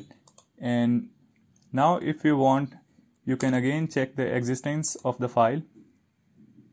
So I ran this again. That's why it is giving the error because it is saying that there is no file demo3.txt because this file has successfully been removed or other thing is you could have just ran this ospath.exist to check the existence of the file after you remove the file. Okay so this would have given you uh, output of false because this file does not exist now. So in this session we have learned how we can handle the file and perform different operations with the file such as opening the file and reading the file and then performing some write operations to the file. And also checking whether certain file exists or it doesn't exist and also how we can remove uh, an existing file. So if you have any query please feel free to ask in Q&A section. So in this session we are going to learn how we can make use of datetime operations in Python. Now Python doesn't have built-in uh, data type for datetime. So what we need to do is there is a module called datetime. Uh, that module we need to import and then we are going to use functions or methods which is available in that module. So in order to print today's datetime, we need to do import statement first. So I'm going to do import datetime and after that we can create a variable, let's call it today and to this variable, we are going to assign datetime dot datetime dot now. So what now function does is it is going to give you what is the date time as of now. And now what we will do is we are going to print today. Okay, so let's do control enter and this is the output which we have received which is date and time of as of now. So now we are going to use a type function. We want to see what is the data type for this variable. Okay, so let's do control enter. And now you can see that data type for today is datetime dot datetime because basically we are using this uh, datetime module. But this is not a built-in data type. Okay, so this is this we can only use after we import datetime. So now let's move on and let's see how we can print date without time let's say you don't want uh, this time you just want date in that case there is a function which is called string formatting uh, that is a function which we need to use in order to display let's say either date or time or only the sum of the part of day or things like that. So i'm going to do is let's copy all of this code first. And now here in the end you can use dot strftime. And inside this you can say percent d for day. And if you want to print month as well then you can say percent m and if you want to display year as well in that case you can say percent y. Okay so now let's see what is the output which we are going to get for this. So i will do print today and let's hit control enter. So now you see the output which we have received is date. So this is the date part 07 and this is the month part 07 and this is the year part. Now let's say rather than year being in two digits you want four digits here in that case you can change this percent y to uppercase so i'm going to change it to uppercase and now if i do control enter you can see that now we have year part in four digits. Now of course if you want year in the beginning then you can just change this position from here to beginning and in that case it is going to show year, day and month. So again it depends what is the uh, format which you want. If you want year, month, day you can do that as well. So here I can just change it to percent capital Y, percent M and percent D and just hit control enter and now we can see that output has changed of course today is 7th day and it is uh, 7th month as well so that's why you don't really see any difference between day and month but if you try it on a different day you are going to see the difference. Of course if you want more formatting for example let's say if you want to use hyphen between day month and year fields or year month day whatever then you can do that. So here now I have given hyphen and let's do control enter and now you see formatting of days have changed. So rather than hyphen I could have used colon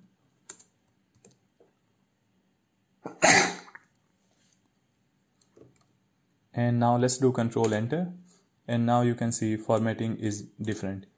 Okay so let's how you can play around with uh, date function and you can format the output. Now let's see how we can do subtraction between days. Okay so here uh, let's see if I use this part. And as you know if I do print today it is going to show me the date and time as of now now uh, let's say if I do minus 1 here what do you think is going to happen? Uh, do you think it is going to subtract one day and then it is going to show that to us? Uh, let's do control enter. And now you can see that it has not subtracted one day from this datetime rather it has just given us error.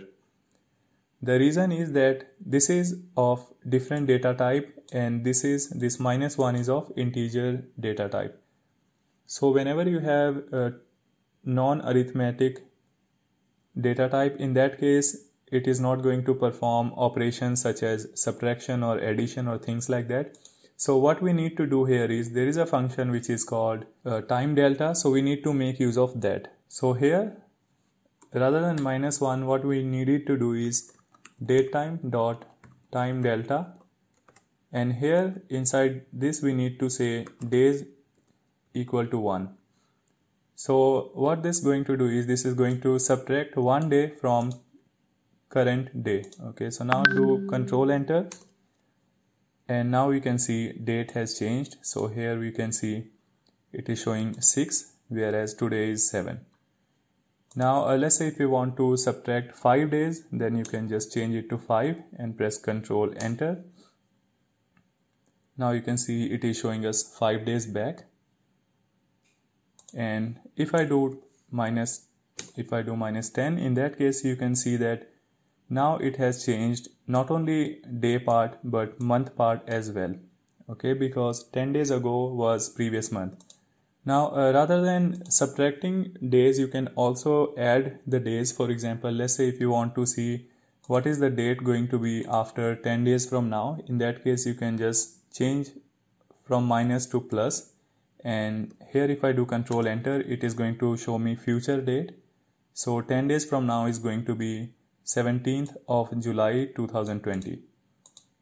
Hopefully, whatever we learned, it was clear so just a quick recap, here we saw how we can print today's date and also here we learned how we can change the formatting of the date time. So if we want to print only the year part or only the month part or only the day part, so we can do all of those things. And here we learned how we can play around and perform subtraction or addition between two days. So if you have any query, please feel free to ask in Q&A section. Now get request as as a learn how we can deal with REST API using Python programming language. Now whenever we are dealing with REST API there are a couple of things which we need to remember. One thing is that whenever you are dealing with REST API you are going to use a program to make a request to REST API. So in this case we are going to use Python program to make a request to REST API. Now whenever we are making a request there can be different type of request you perform such as get request or post request or delete request. There are many other requests as well, but here for the sake of simplicity we are just considering these requests. Now get request as as the name says it is mostly like just going and fetching some data or getting some data. Post request is something like when you call a REST API and you post some of the data. And delete as the name suggests it is used to delete certain data from the by using the REST API. Now, whenever you perform a request using uh, Python, you need to have a mechanism which is or, or a REST API which is going to reply you with a response. So that is actually going to be taken care by REST API. Okay, so REST API is going to respond you back with certain response codes and also going to give you the data. Now response code can vary. We have different response codes such as 200 which is uh, response code OK, 300 which stands for found, 400 which stands for bad request, and there are so many uh, response codes which exist in a response of the REST API. Now you can Google what are the different response available, but most frequently used are either 200 which is response OK or 400 which is bad request and certain others. But again for the sake of simplicity for now we all we need to know is that we are going to receive a response code 200 which is going to let us know that everything is okay from REST API side and it has done the processing and it has responded uh, back with certain data and certain response code. Okay, so hopefully everything was very clear. So all is going to happen is uh, from here we are going to make a request and then we are going to get a response back uh, from here.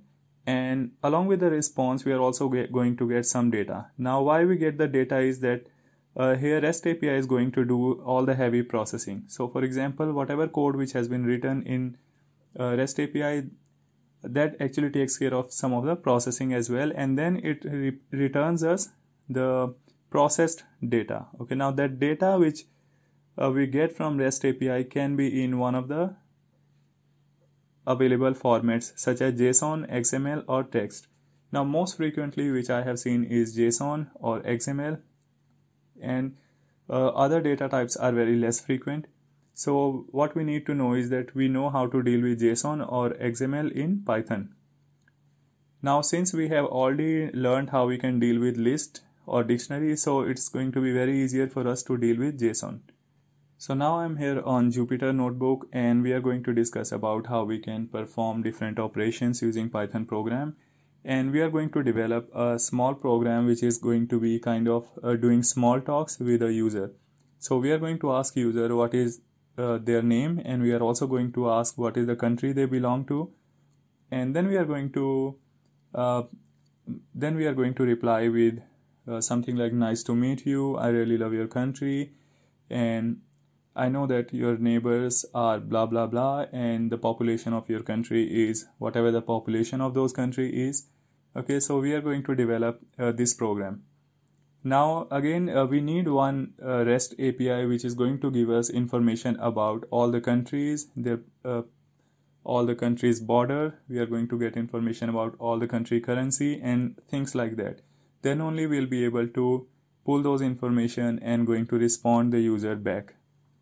So for that i have already found one rest api which is called uh, the url for that rest api is restcountries.eu slash rest slash v2 slash all. So once you hit that url and press enter this is the response you get. So you get list of all the countries with lots of other information such as top level domain name you get the calling codes of the countries you get the capital name of all the countries and you get the region information of the countries you get the population and so many other things okay? So basically uh, what we needed we already have got in the form of a REST API.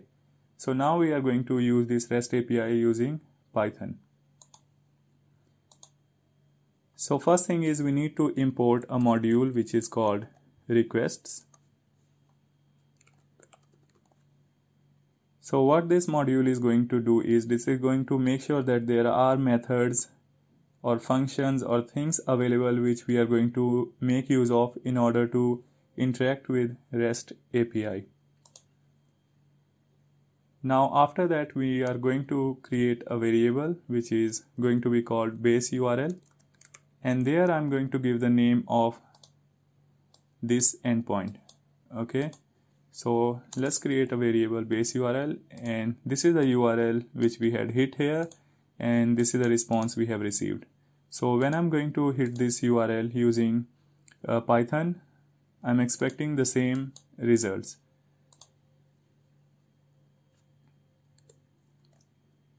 So now we are going to actually make a request. Okay as you know that uh, whenever we are dealing with REST API we are going to use two things. One is request and other is response. So now is the time to make a request and receive the response. So let's create a variable which is called resp short form of response. This is a variable which we are going to keep our response in. And then we need to use requests dot get and here you need to specify base url now remember rather than using base url you can directly use this complete url again depending on uh, whatever way you prefer. Okay this is second approach but i will really recommend you that you keep base url in a separate variable and use that variable using this way code is very clearer and people understand what you are trying to do here so now here what is happening is we are making a request to this REST API and whatever the response is we are storing in this variable. So, so far whatever we have learned hopefully it is clear. If you have any question please write in uh, Q&A or comments and then I'll be happy to answer you okay now uh, as we can see that whatever data which we are receiving it is in kind of json format. So what we need to do is uh, we need to load the data in json format. Okay but before we do that let's do a print statement and say resp.json okay so this response.json what it is going to do is it's going to load all the data all this json data in the in the variable or probably if you just want to print it on the screen you can do it as well. Okay? So uh, let's do this way.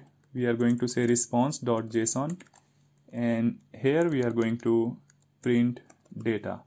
Okay? So whatever this data is now going to be going inside this data variable and then we are going to use this.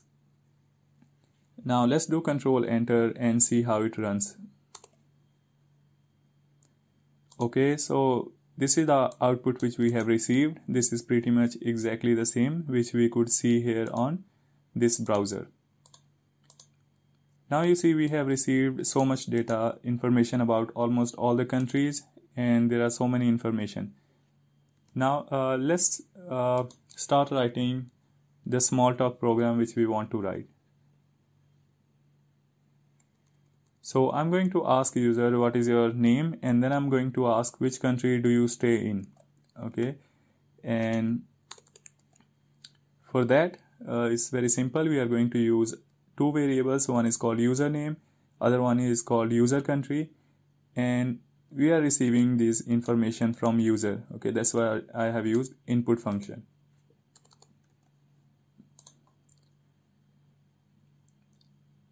and now uh, let's start developing our code. And before we do that let's try to first read this information so you understand what we are trying to do and how we can handle this. So what I will do is uh, let me comment this temporarily or let me take it out. We are going to put it again. And let's do one thing. Uh, we don't want to print the data. This time let's try to understand what is the format in which we have received this data. And as you know if you want to see what is the data type of the data which you have received you can always use type function. So here I'm going to use type function and I'm going to say data. Okay now hit control enter. And now you can see the data which you have received is in list format. Okay so now we need to remember how we deal with list. So if you have not seen uh, the session about how you can deal with python lists then go there and learn about that and then it's going to be very easy for you to understand this. Okay now if you remember to navigate through all the data of or within a list all you need to do is uh, you can just use a for loop okay something like so what I can say is for country in data print country so what it will do is it will print information about all the country which are available in this list. Now let's run this and see what is the output which we get. Okay, so now here you see output is pretty similar. The only thing is that now for each country you receive the data and then you get so here you receive the data about one country and then you get information about next country in next line. Okay the reason for that is because now actually you are navigating through this list and you are doing a print statement for each element of the list. Now let's say you don't really you are not interested in all the information. All you want is you want to pull the name of all the countries. Okay now to get the information about all the countries we also need to understand what is the uh, data structure of this okay so what is the data structure of each country? So we know the data structure or data type of this data which we have received is list. Now we need to understand what is the data type of each of the element which is there inside the list. So for that we will do type again and let's do country type country. So we are going to receive what is the data type of all of these things. So let's do control enter. And let's say I don't really want to print country name. So I'm going to remove that and do control enter again. And now you can see that this is the list data type which is for uh, this print method okay? So first thing is that all the data which we have in data is of list type and then all the data which we have in country is of dict type. So again if you have not seen a session about dict type so go ahead and see that first and then you are going to understand this also. But if you just want to continue on this session first you can do that and then you can uh, watch those uh, sessions later.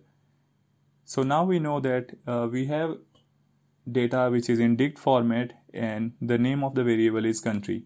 So now all we want is we want to uh, print list of all the country names.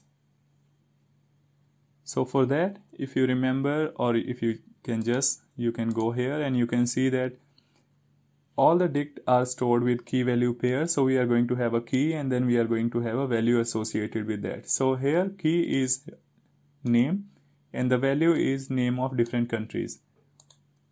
So now here if along with country I specify the key name which is going to be name and then do control enter and then you can see we have received list of all the countries. Okay? So for now I know it is very simple. And let's say rather than name of the country you also or let's say along with name of the country you also want to print name of the capital. So you can do that as well. So for that you can write after the print statement you can write country. And here you can write capital. And then let's do control enter. And now you can see that you have list of country name and then we, you have list of uh, capitals. Okay so for each country you can see their capital so for now again i think uh, things were very easy and simple. And now you have understand how we can pull different type of information. So let's say if i want to grab information about population of the country in that case you can see the key name here is population. And then we get the value of population. So here i'm going to say population and do control enter and we can see that we have received country name country capital and population. So now we know how to grab all different type of information. So now i'm going to uh, make things bit quick and I'm going to write remaining program. So we don't need this for now. We can just remove everything. And here we are going to ask user what is their name and what is the country they stay in.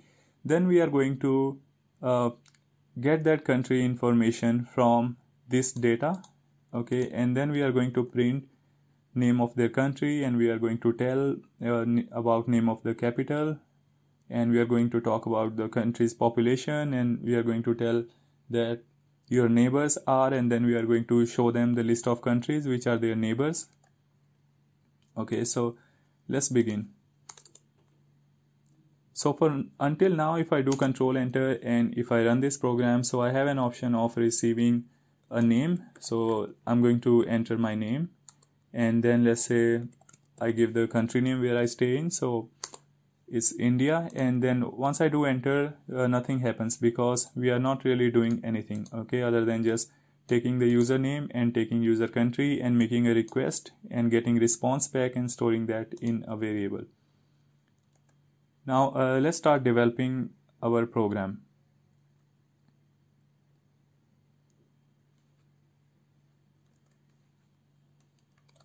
So first thing is we want to go through all the country names and we want to do a comparison that which country user stays in. So first thing is uh, we should be able to find information about this country India.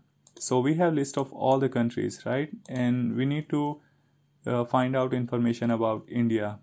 So first thing is I, I need to do a loop statement which can loop through list of all the available countries. So let's do for country in data because data is the one which is holding all the data. And then we are going to do if statement. So we are going to say if country and we want to find out the name. Okay so if country name is equal to name which user has provided. Okay so user has provided the name which we have stored in user underscore country variable. So here is the variable name. So we are going to say uh, if the country name from this list is equal to the country name which user has provided in that case only execute the code which are written below now one thing which can go wrong here is that this user may not provide the information always in the same case and as you know uh, python is case sensitive so let's say if user is providing information in uppercase or in lowercase, in that case we are going to uh, get the error. Okay, or basically there is not going to be a match which we want to avoid. But anyways, for now I'm just going to show you how this is going to work. And uh, let's see how I mean let's see what is the progress which we have made until now. So what I'm going to do is uh, I'm going to write another piece of code which is going to say nice to meet you. And I'm going to just paste it here because I have already I already have this code written. So here what we are doing is we are writing a print statement which is saying nice to meet you and then we are using username for this. And then we are going to print another piece of statements which are related to uh, which are related to country and capital. So you already know how you can pull country and capital so here we are just giving that information. So uh, let's do control enter and run this program. So here's asking for name. I'm gonna give my name and then it's asking for country. I'm going to give country name. And for now if you see that uh, this is the output which i receive. So i receive nice to meet you vikas. And i receive i really like your country india especially your country's capital new delhi. Okay so uh, whatever statement you want to print you can again in this small talk you can change this or you can probably have list of certain uh, small talks and you can loop through those small talks randomly. Now here one thing is that uh, after the user receives all the input we want to give some space. So here you can see everything is just looking to uh, everything is looking to be printing together. We don't want that so I'm just going to print new line. And to print new line all you have to do is write a print statement with slash n. And if I run this program now so you can see we have one uh, we have some space. Okay so that's basically a new line. So that looks fine for now. And now we can go ahead and start developing other program so now uh, yeah before we do that let's do control enter again. And this time let's enter the name and let's enter country information in all capitals. And let's hit enter. Now this time you saw that when I wrote country name in capitals in that case we didn't get any information. The reason is that as you can see here in the data let me search for India. And okay so basically you can see that India is written with only here you can see the name India is written with I is in capital and remaining is in small letters. So that's why it didn't match and this piece of code did not execute okay? So we want to avoid this. So the best way to avoid this is you can convert everything in either in lowercase or in uppercase. So i'm going to convert everything in uppercase so for that we are going to use upper method. And here also i'm going to use upper method. So now let's run this program again and see if this works as expected. Okay so this time it works as expected. And regardless of whether the user provides information in uppercase or lowercase we are going to get the same result. Now I'm going to uh, start writing some more information about their country. So now here I'm going to print another statement which is saying your country is pretty huge with more than uh, number of population people staying in the country. So here i'm going to print the number of uh, population or the country's population. Now again uh, we don't really need to write the same statement for all the country types because for some of the country population is going to be really low so in that case you should be able to write uh, some different statement based on the population of the country. So i leave it up to you. You can uh, write some if statement in the country population and then uh, you can execute two different type of statements. For a country which is having let's say less than 100000 population or uh, or country which is having more than 100000 population or things like that. So i leave it up to you and let's do control enter and see how it works so here i'm going to write my name and country name and now you see what i receive is that greetings and then I receive information about my country along with the country country's capital and we also receive information about population of the country. Now let's say along with this I also want to display name of all the all of my country's neighbor. So in that case there is another REST URL which is available. And the REST URL is this. And here along with this URL I need to provide the short code of country. For example if I do IND which is short code of India in that case I'm going to receive this information. Okay so now here if you go to uh, borders where is borders? Okay so here you see we have a key name which is called borders which gives us information about all the country names. So it's not the country name it is the short code. And so yeah basically we are just going to hit all of these short codes and then we are going to grab the name from those short codes. Okay so let me write those statements and that's going to be simple and going to be exactly the same. So I'm not going to explain this in detail. So now here you can see what we are doing is uh, here we write a print statement that your neighbors are and then we loop through all of the then we are loop, looping through all of the borders. Okay so here if you okay so let me make it simple for you. So here let's do print statement and let's do country? Borders. Okay so you will know what we are trying to do here. And let's do control enter and see how this program is working. So it, I'm gonna hit my name and country name. And now you can see that this is saying uh, whatever some greetings and things like that. And then it's saying your neighbors are and then it is giving me a list with all the countries neighbor okay with with the short codes. Now we don't want short codes. We want the actual name. So what we need to do is we need to hit, this rest endpoint with providing short codes okay. So for example for afghanistan i need to say afg and hit enter. And now you can see that this is the information which we receive. So from here i'm going to grab this name and going to print it. So this is going gonna give me full name a complete name. Okay so that's why we have written this piece of code. So now we can see that we have uh, multiple countries as the neighbor. There is no single country. So that's why we need to write another loop statement. So that's why you see for statement coming here.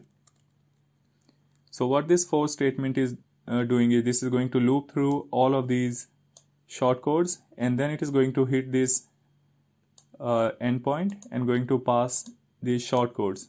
Okay and then it's going to grab this complete information and from this information we are going to use only this country name and which is written here. You can see that here we are receiving all the response in code and from this code variable we are using code name which is name of the country. So this is what we are gonna get. So now let's run this and see how it works. So here I'm going to give uh, my name.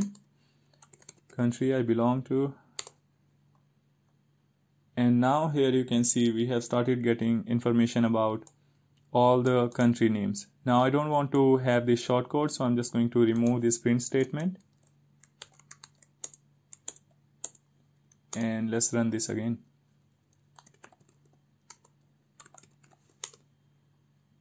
Now you can see that we are receiving information about all the neighbor countries. Now if you want to print uh, other things such as country currency and so many other things you can do that as well but hopefully you have understood what we are what we need to do or how we handle uh, REST APIs and how we deal with or loop through all the items which are available in those REST API. If you have any query, please feel free to write me. I'll be more than happy to answer. After that, we are going to, this session we are going to be talking about how we can make use of Python programming language in order to create a bot or a kind of script which is going to increase views on your videos or probably on your website and this is going to work on any type of videos regardless of whether it is a facebook video or regardless of whether it is youtube videos or it can be any video which is available there on any of the web page. So to begin with we need to import a module which is called selenium. So in this session i'm not going to tell you how you can uh, import a module or how you can install a module. So i assume you know it. If you don't know it just google it. It's very simple. And probably i can have a separate video discussing about how we can install module in python so what you need to do is you need to have selenium installed and after that you need to use or you need to import this module. And after that we are going to use driver which is called chrome driver. So in this example i'm just going to uh, make use of chrome but you can do the same thing on firefox as well. So if we are using chrome driver we need to have chrome driver.exe so uh, if you want if you don't have this you go to google you search for chrome driver.exe and then download it. And then wherever you download just give the complete path of this chrome driver.exe here okay? And this is a variable which we have created. Name is driver and this is the one which you are going to use now. Now in order to create uh, now in order to open a web browser all we need to do is we need to write get statement. So if I write driver.get and here I need to provide the URL of the video. Okay so it can be any URL of your YouTube video. So just give the video URL okay however uh, if you see right now this is going to look very simple. So what is happening here is that you have imported selenium and then in selenium you have defined that you are going to use chrome driver. And then you are telling that driver.get and then you are telling name of the video. So what is happening is that uh, python is going to open chrome and then it is going to type the name of the video and then that video is going to basically get played. Now the problem is this uh, problem in this is that one thing is that this is going to work only for one time. Now let's say if you want uh, 1000 views in that case what you can do is you can run a for loop. Okay so i'm going to say for i in range and let's say i want to have 1000 views. In that case you can do uh, you, you can write program like this. Okay now in this case also what is going to happen is that you are going to get 1000 views but this is actually going to run very fast. Okay because if you see we are not actually going to watch all the all the videos. All we are doing is we are just opening these videos one after another 1000 times. Now if you do something like this in that case uh, there is almost uh, for all the technologies they have kind of anti-spamming or anti-bot uh, mechanism in order to detect that you are actually making these views using a bot or probably a programming language. Okay so in that case they are going to either block your account or probably in fact going to block the server from where you are making all these requests of video watches okay so so many things can go wrong. So what you need to do is you need to uh, create or you need to create a program which is going to act more like a human. Okay so what we can do is after each time when the video is watched we can just add okay some sleep time. Now let's say I can do something like sleep 10 okay. Now uh, there is no function sleep. There is no default function sleep in uh, Python. So we need to import another module in order to use sleep. And the name of the module is time. So I'm going to say import time. And then we need to use here time dot sleep okay? Then what is going to happen is that this video is going to get opened one time and then it is going to wait for 10 seconds and then video is going to be refreshed and opened again second time and so on okay? Now again you see there is a problem the problem now is uh, that every time you are watching the video only for 10 seconds okay? Now all these uh, technologies they have a mechanism to uh, check non-human behavior. So what can go wrong in this case is that you are watching 1000 uh, vid- uh, video with 1000 times and all the videos are being watched only for 10 seconds. So basically you are kind of having a pattern and once these kind of patterns are detected in that case your views or whatever uh, if you're generating visitors on the website that is going to get deleted by anti-spamming mechanism. So you don't really want to do it. You want to mimic kind of human behavior. So now what I, what you can do is rather than using this a sleep time of every 10 seconds you can do a random sleep time between let's say between uh, 10 to 20 seconds or let's say 10 to 30 seconds so in that case what is going to happen is that your views are going to be between 10 seconds to 30 seconds okay? So every time when video opens the duration of the video watch is going to be between 10 to 30 seconds. Now you can uh, change the range based on whatever value you want. So now to use random number we need to import another module which is called random okay? So i'm using random module and then what we are going to do is i'm going to create a variable which is called random video. And then i'm going to uh, I'm sorry I'm not going to create a random video for now. So what I'm going to actually do is uh, I will probably create a variable with sleep time. And let's call it sleep time. And here we are using random dot randint and here we have defined starting and ending range okay these are in seconds. So if you want to keep between 60 to 130 seconds you can keep something like this. Or if you just want to uh, play around and want to keep it between 10 to 20 seconds so you can do that as well. Okay now what is happening here is you are uh, creating a random variable between 10 to 20 and that value is actually being assigned to sleep time. And here in the time dot sleep we can now use sleep time variable. Okay so now this program is going to run and it's going to open a video and then it's going to watch that video for a random number of time between 10 to 20 second okay? And this program is going to run for 1000 iterations okay? Because this for loop is going to run for 1000 uh, views. Now the other thing which can still go wrong is that suddenly let's say you have around uh, 20 views on all of your videos. Now suddenly if you run this program with 1000 views okay that's again going to uh, create another kind of anti-spam uh, behavior. So basically suddenly one of your videos cannot go grow to 1000 views overnight. So what you can do is you can create a list of videos. So let's say you have uh, 10 videos okay? In that case you can create a list of videos.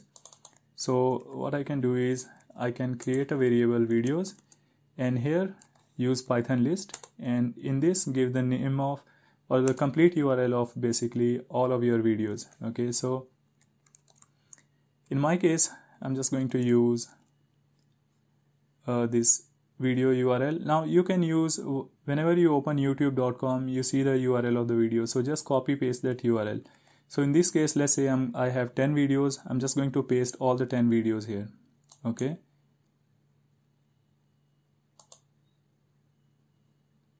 now here you see we have all the videos and this is assigned to a variable which is called videos. Okay so now what is going to happen is each time I'm not going to watch the same video but I'm going to watch different video every time. So now uh, we need another random you know another random variable which is going to select one of these videos uh, randomly. So uh, we need to know uh, what is the total number of videos we have. In this case i have 1 2 3 4 5 6 7 8 9 around 9 videos. So what i'm going to do is i'm going to create another variable which is called uh, let's call it random video. Okay. And then we are going to use random dot randint again. And here we are going to keep index between 0 to 9 okay or let's keep 0 to 8 because we have 9 videos so our values must not uh, exceed between 0 to 8 okay? Because we are going to access this list of videos using index list index. So i hope you already know about list indexing and all these things. If you don't know just go ahead and watch my other videos and then you are going to get idea how you can make use of list and other python stuff so whatever i'm teaching is uh, pretty basic if you know uh, python okay? I mean even if you watch a basic python video you can very easily able to do it. So now what is happening here is you are assigning a video here okay which is out, outside the loop. Now that's not what we want. We want to assign the video inside the loop. Because every time when uh, this program is going to run you want a different video to be played okay so inside this we we can use random video is equal to random dot randint 08 okay now here rather than giving youtube videos now what we are going to do is we are going to say play the videos. Okay so here i'm using videos which is this variable and i'm going to say play the video with index number of random video. So basically here it is going to select one of these available videos. Okay so so far i think everything is very clear everything is very simple. And now uh, what we need to do is so once this program has run 1000 times you also want to uh, close the browser. So in that case you can do driver dot quit. And this is going to close the browser okay that's all we needed in order to execute our program. Now i'm going to run this program and then we are going to see the output here. Now one more thing which i want is while this program is running i also want to see the counter. Okay so you also want to see how many times it has already run. So let's create a print statement saying that running the video for and here it is going to tell the number of time video is running or the iteration of the video is running. And here I'm going to use format and inside this let's print i because i is basically the index. And it's going to print number between 0 to uh, 1000 okay? So program looks pretty good and I'm not going to run it 1000 time for now. Uh, just to demonstrate you I can probably run it let's say we are going to run it 10 times. And then uh, everything looks good to me. I think that's all we need to do here. So yeah. And I'm just going to take this out because we don't need a random video here. Okay so just a quick uh, recap of what we have done until now. We have used selenium we have used time and we have used random modules. And here you need to make sure you uh, download chrome driver.exe from internet and you keep it on any of the folder and whichever folder you keep it you need to make sure that you give the complete path here okay now here in the videos uh, variable which is of list data type we have given list of all our YouTube videos. Now here what we are doing is uh, here we are defining a loop okay in the loop we are saying that this program basically should run 10 times and this should be choosing random videos and this should be choosing random duration on which video should be being played okay so that's all we needed and now we can just go ahead and start executing uh, this program.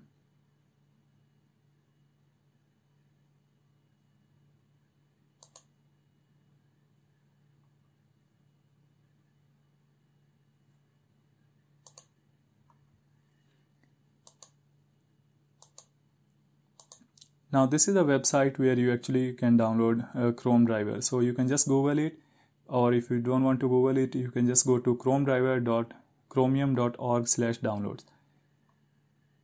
Now let's go ahead and right click here and run this program and let's see how it works. So here on the right side you are going to see the output. Now it's going to launch a Chrome browser. As you can see it has launched a Chrome browser and now here on the right side you can also see the counter. So it is saying running the video for 0th time. Okay? And it's running one of the videos, one of my videos from the playlist. Okay? And you will see that this is going to get auto refreshed between 10 to 20 seconds. So yeah let's let's keep an eye here and let's also see the output on the right side now you can see video has refreshed and now it is going to play some different video okay so video counter is also increasing okay and again now you can see this time it is playing my another videos so uh, basically what is happening is that randomly it is picking one of my videos which I have given and then it is playing those videos for a random duration between 10 to 20 seconds. So this way it is going to keep on running until the for loop, uh, whatever the number you have given in the for loop. Okay, so hopefully it was useful and uh, please use it only for testing purpose or development purpose or only for your learning purpose. Now I'm going to quit this program. So let's just uh, click here to stop this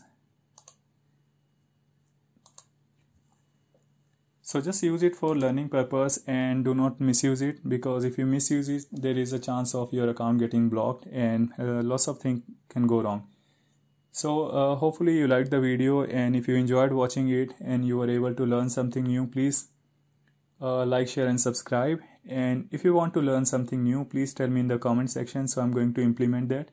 And i'm also going to keep on uploading some new video every once in a week. So uh, do subscribe and also click on the notification icon so you get all the notification whenever I do or whenever I create some new video.